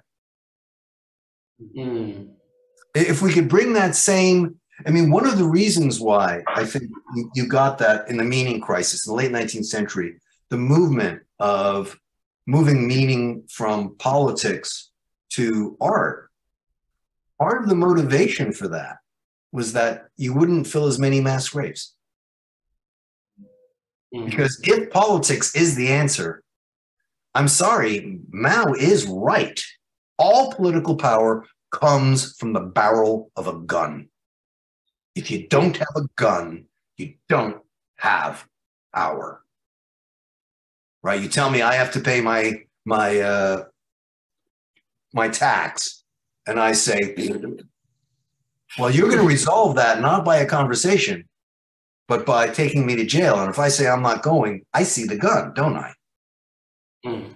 So you know what I'm saying? It's that that's one reason why there was that attempt to move meaning out of the, the realm of geopolitical um, uh, context. It's very tempting to put it back in because that's how you rally support. That's how you rally people up to fight for the sacred.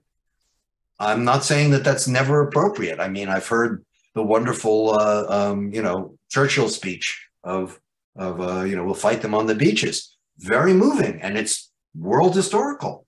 Um, there again, Yogi Berra. There are moments when that is necessary and appropriate. Um, the problem is it gets to be addictive.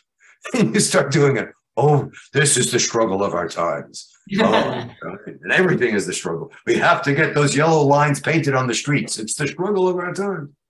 Okay, we'll survive. They have to stay white for a while. It wouldn't kill us.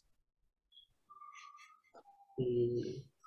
Uh, that's my sense from, from from an from an aging old guy.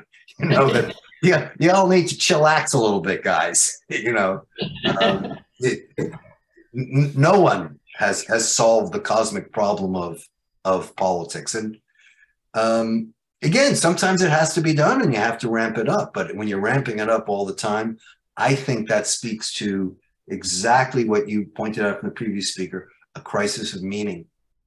Um, and it's funny. There's a guy in the states who's I don't know if you've ever heard of him, John McWhorter. He's a professor at Columbia University. A very, very sharp guy. I mean, smart. And he's he's not the first to say this, but he said, you know, a lot of the current ideological ferment in universities is essentially religious. Mhm, And- mhm. Um, and I think it's deep. I think it's a, it's profound. I think that my issue with McWhorter is he says it like, therefore we can dismiss it. You know, this is not serious. And I'm not saying that I do think that these ideas are wonderful. I'm I'm leaving that aside. I'm bracketing it. I'm saying you've missed you you saw something incredibly profound and you didn't ask the next question. What does it mean that highly educated, highly sensitive, deeply caring, and good people feel the need to cook up a ideological religion? What does that suggest about our quote secularity, about the stability of our secularity? And I think that leads right to Eliade, which is to say that you're asking people to do something to carry a burden that they can't. Right? That you took away Santa Claus from poor Greta when she was a little girl, and you took away God, and you took away every horizon that was bigger than this. And all she could find was polar bears. But she had to find something because otherwise you're just living this utterly, you know, you're J. Alfred Prufrock. You're, you're a hollow man. And who wants to live that? Thank God she didn't. She became Joan of Arc. But no one's asking that deeper question, which is what's going on with our, not our culture in general, but our high culture, that people have these deep spiritual needs that they're not getting met um, in normal. And it's not that there's anything wrong with new religions. It's just that new religions are like new narcotics or new drugs or new alcohols, which are wonderful. We all need psychoactives. When you have a new one, it takes several generations before you stop killing yourself taking it. Right? It takes a long time. I'm seeing this in the United States. They're legalizing pot all over the place. Really cool. Well, but they've been smoking bhang in um, the subcontinent of Asia forever. They don't have kids tripping out because they ate a whole lot of bad stuff and you have to pump their stomachs. Why? Because they've done it forever and they know how to take it safely. Mm. Generations. Same thing when we first developed distilled liquor. This is early American history, you know, the so called you know, you got all the 1619. Boy, it's a good thing she doesn't know anything. She would have really, because it's not about the slave. Slavery itself is a reflection of a bigger need, and that was the distilling revolution. Europeans had lived on mostly beer, the wealthy on wine for a long time. In the late medieval period, Benedictines figured out how to distill spirits, but they did it making cognac and brandy from wine. So very, very expensive. And you could only use it for medicinal purposes because of the cost. Imagine what happens when you're cooking up cane and someone, cane sugar, someone lets it cook too long and it ferments. And out comes rumbago, right? And the whole world gets drunk because that rum, the beauty of the beer was it's social. You have rounds. I we all drink a beer. Takes us like 10, 15 minutes to put that pint down, get another one. It's a lot of filling your belly before you got a good tank on. Put that rumbago down. In 45 seconds, you're on the floor.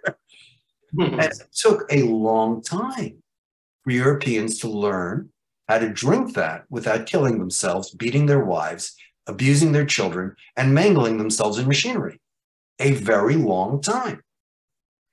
That's true of every narcotic. It's the reason why Americans, when they discovered peyote, jumped off buildings. You never see Amerindians jump off buildings. They take it all the time. Why? They've taken it for centuries. They know you do not take it on your own. You take it in a sweat lodge with someone who's older than you, who's done it before, who can look after you if you have a bad experience. You will be fine. Do not do this on your own. It's not recreation. Right? Mm-hmm. Same, same is true of every faith system. It needs to go through its period of maturation to learn to control itself, to learn to accept things outside of itself. What are you going to do with people who are not of the faith? It will take a while to figure out how to engage with them without taking the original view of the Hebrews, which is just kill them all. yeah. yeah, get them all, all of them, all of them, all of them, all of them. But you see, if you read the scriptures, they're not doing that. After a while, they don't do that anymore. They're like, well, we'll set up trading relations. And occasionally we'll marry, we'll intermarry with you. So you get Samaritans who are not Jews, but they're Jews. They practice the Jewish religion, they're just not Hebrews. There's that beautiful there's that beautiful image in um, the uh, I think it's chapter three of um, Hosea when when there's um, a, a, metaphor of um, Israel who's sort of um, you know uh, the, the, this um, like slept with lots of different gods. That's sort of the image of the prostitute, and uh, Hosea the prophet is told by God to go and love his wife who is who is a prostitute and and there's this image of like you know he, despite um, the the, um, the, the nation of God sort of like just uh, disobe- disobeying, you know, all, all, these sort of like um, orthodoxies and this kind of thing. That that um, that uh, there's still should be that spirit of love there um, for the outsider. Um, and I, I, I wanted just to sort of wrap things up. If this could um, be an, a way to understand um, the relationship between orthodoxy and orthopraxy, which is to have orthodoxy as the sort of um, uh, limiting uh, uh, factor on something like the religious patterns that are quite dangerous in themselves, to have something to, to limit that. Um, and and not necessarily as a, as a way to um, separate the inside from the outside and to hate the outside and to love the inside. Yeah, uh, you know, there's a, a, a very interesting um, uh, teacher in late 19th, early 20th century by the name of Ramakrishna. And um, some, some Hindus believe he's actually an avatar, an incarnation of, of God on earth. He's an historical figure and people met him and talked to him. And he went through a very interesting phase, series of phases in his life uh, when he realized that he was, you know, a devout, um, I think Vedanta uh, uh, practicing Hindu. One phase is um, he becomes a Muslim and he practices Islam for a while in an Orthodox fashion.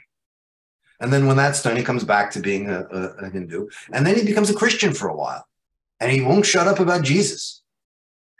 Hmm. comes back to practicing for a while, and then he comes. Then he becomes a woman. He lives life as a woman for a while.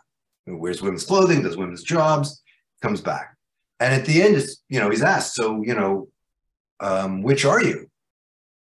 And he said, well, I'm a Hindu. I'm all of them, of course.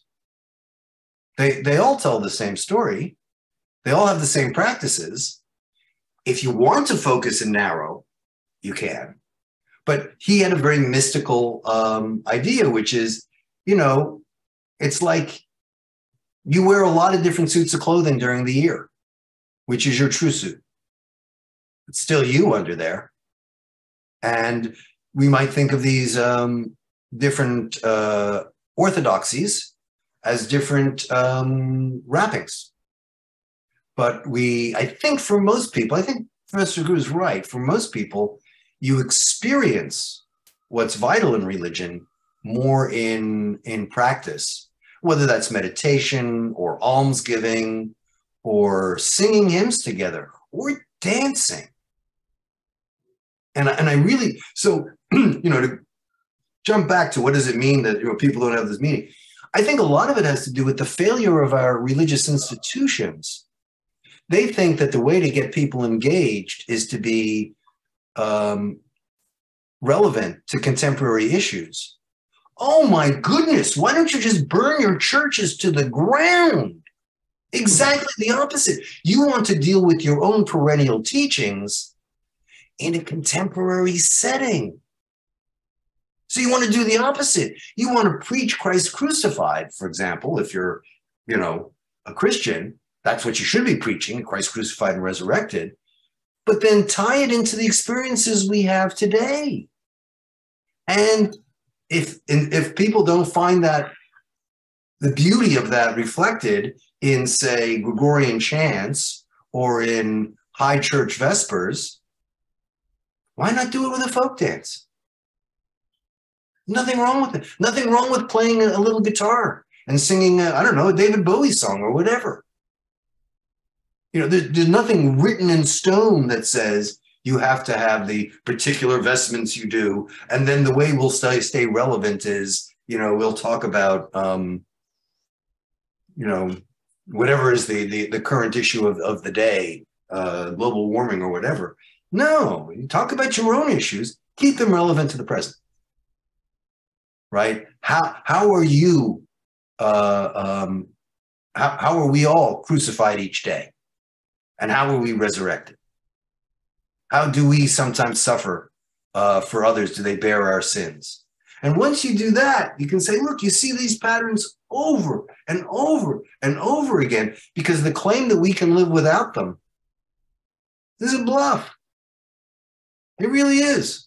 You know, think what is what are the most notorious atheist regimes of the 20th century, right? Nazis and communists. But Nazis believe that they're recovering the long lost civilization of Atlantis. Right? They're going deep back in time and rebuilding harmony with the earth. I mean, this is really modern and secular. This is Bronze Age. My my Marxist friends, they're fighting for the global proletarian revolution. The proletariat being the class that suffers in an unlimited way, and its suffering will redeem humanity permanently. Oh, please. Oh, please. I mean, you just put the cross up and, you know, and put a working class cap on it, and then you're done. Right? This is, you're modern and secular. You couldn't bear being, to be modern and secular would be ultimately, and historicist would be to say, you know, stuff happens and it's not heading anywhere. And stuff happens till it doesn't. And eventually it's supernovas. Who wants to live that? Really. You know, that's why we create meaning and beauty. It, it, it's in the same way that you move into an apartment and you wouldn't leave it unfurnished. Are your furnishings artificial? Of course they are. They're man-made. You picked them. They're arbitrary. It could have been a divan. It could have been a sofa. It could have been whatever. A recliner. You know, a beanbag chair. It doesn't make any difference. You pick. But once you put it in, you've structure to your living space. So it is with all of your beliefs. Mm. And to say, well, but they're not the universe's uh, uh, furniture. Well, neither is the stuff in your house. But you don't throw it out. You wouldn't think of living without it. So that's, you know, I don't know if that's quite orthopraxy, but but but that's that's that that that's the sense I have, which is you know, um, again to go back to McWhorter, I think is deep. I think it's profound. I I love listening to him. I can listen to him forever and ever and ever. But there's a part of me that's like, gee, dude, don't you feel any compassion for these people? I mean, I know you think they're crazy. They're crazier than loons. Fair enough. Maybe they are but they're not bad people. What does it mean that they embrace crazy? Might it be that they have a deep need and it's not being met and it's not their fault? They're young people. They didn't make this world. So anyway, that's what middle-aged people do, though. we blame young people. cycles, yeah, well, cycles. yeah. Well, I think it's a lovely place to sort of draw things to a close. Um, just this idea of um, furnishing your mind with beauty as a way to sort of solve the crisis of meaning. Um, uh, one more question? Could you just say quickly, Darren, as well? I think the biggest fact check you'll get tonight is that there was ever good English wine. That's probably seen as a very controversial statement. well, uh, at least it was exported right? This is, this is and, and and that tells you something because they weren't exporting porter at the time, just and or the ale, just the wine. So and it wasn't elderberry wine; it was real wine. So, no, it, it, it again, people know Europe was at least Northern Europe significantly warmer um, towards the uh, um, end of the basically the the uh, end of the Dark Age, and it um, I mean, I'm not saying it's the same as what's going on right now, but there are cycles within cycles, and there have been cycles before, and there'll be cycles again. So mm. I'm not saying it was good wine. I'm, not, I'm not I, I, want to be invited to a French event, so I'm not saying it was good wine, or an Italian event, even better. And I'm certainly not praising your cuisine. I would definitely want to be invited to an event. yeah. Anyway, thank you so much for your time. Thank you. It's been my pleasure. Thank you. Really Thank you so much.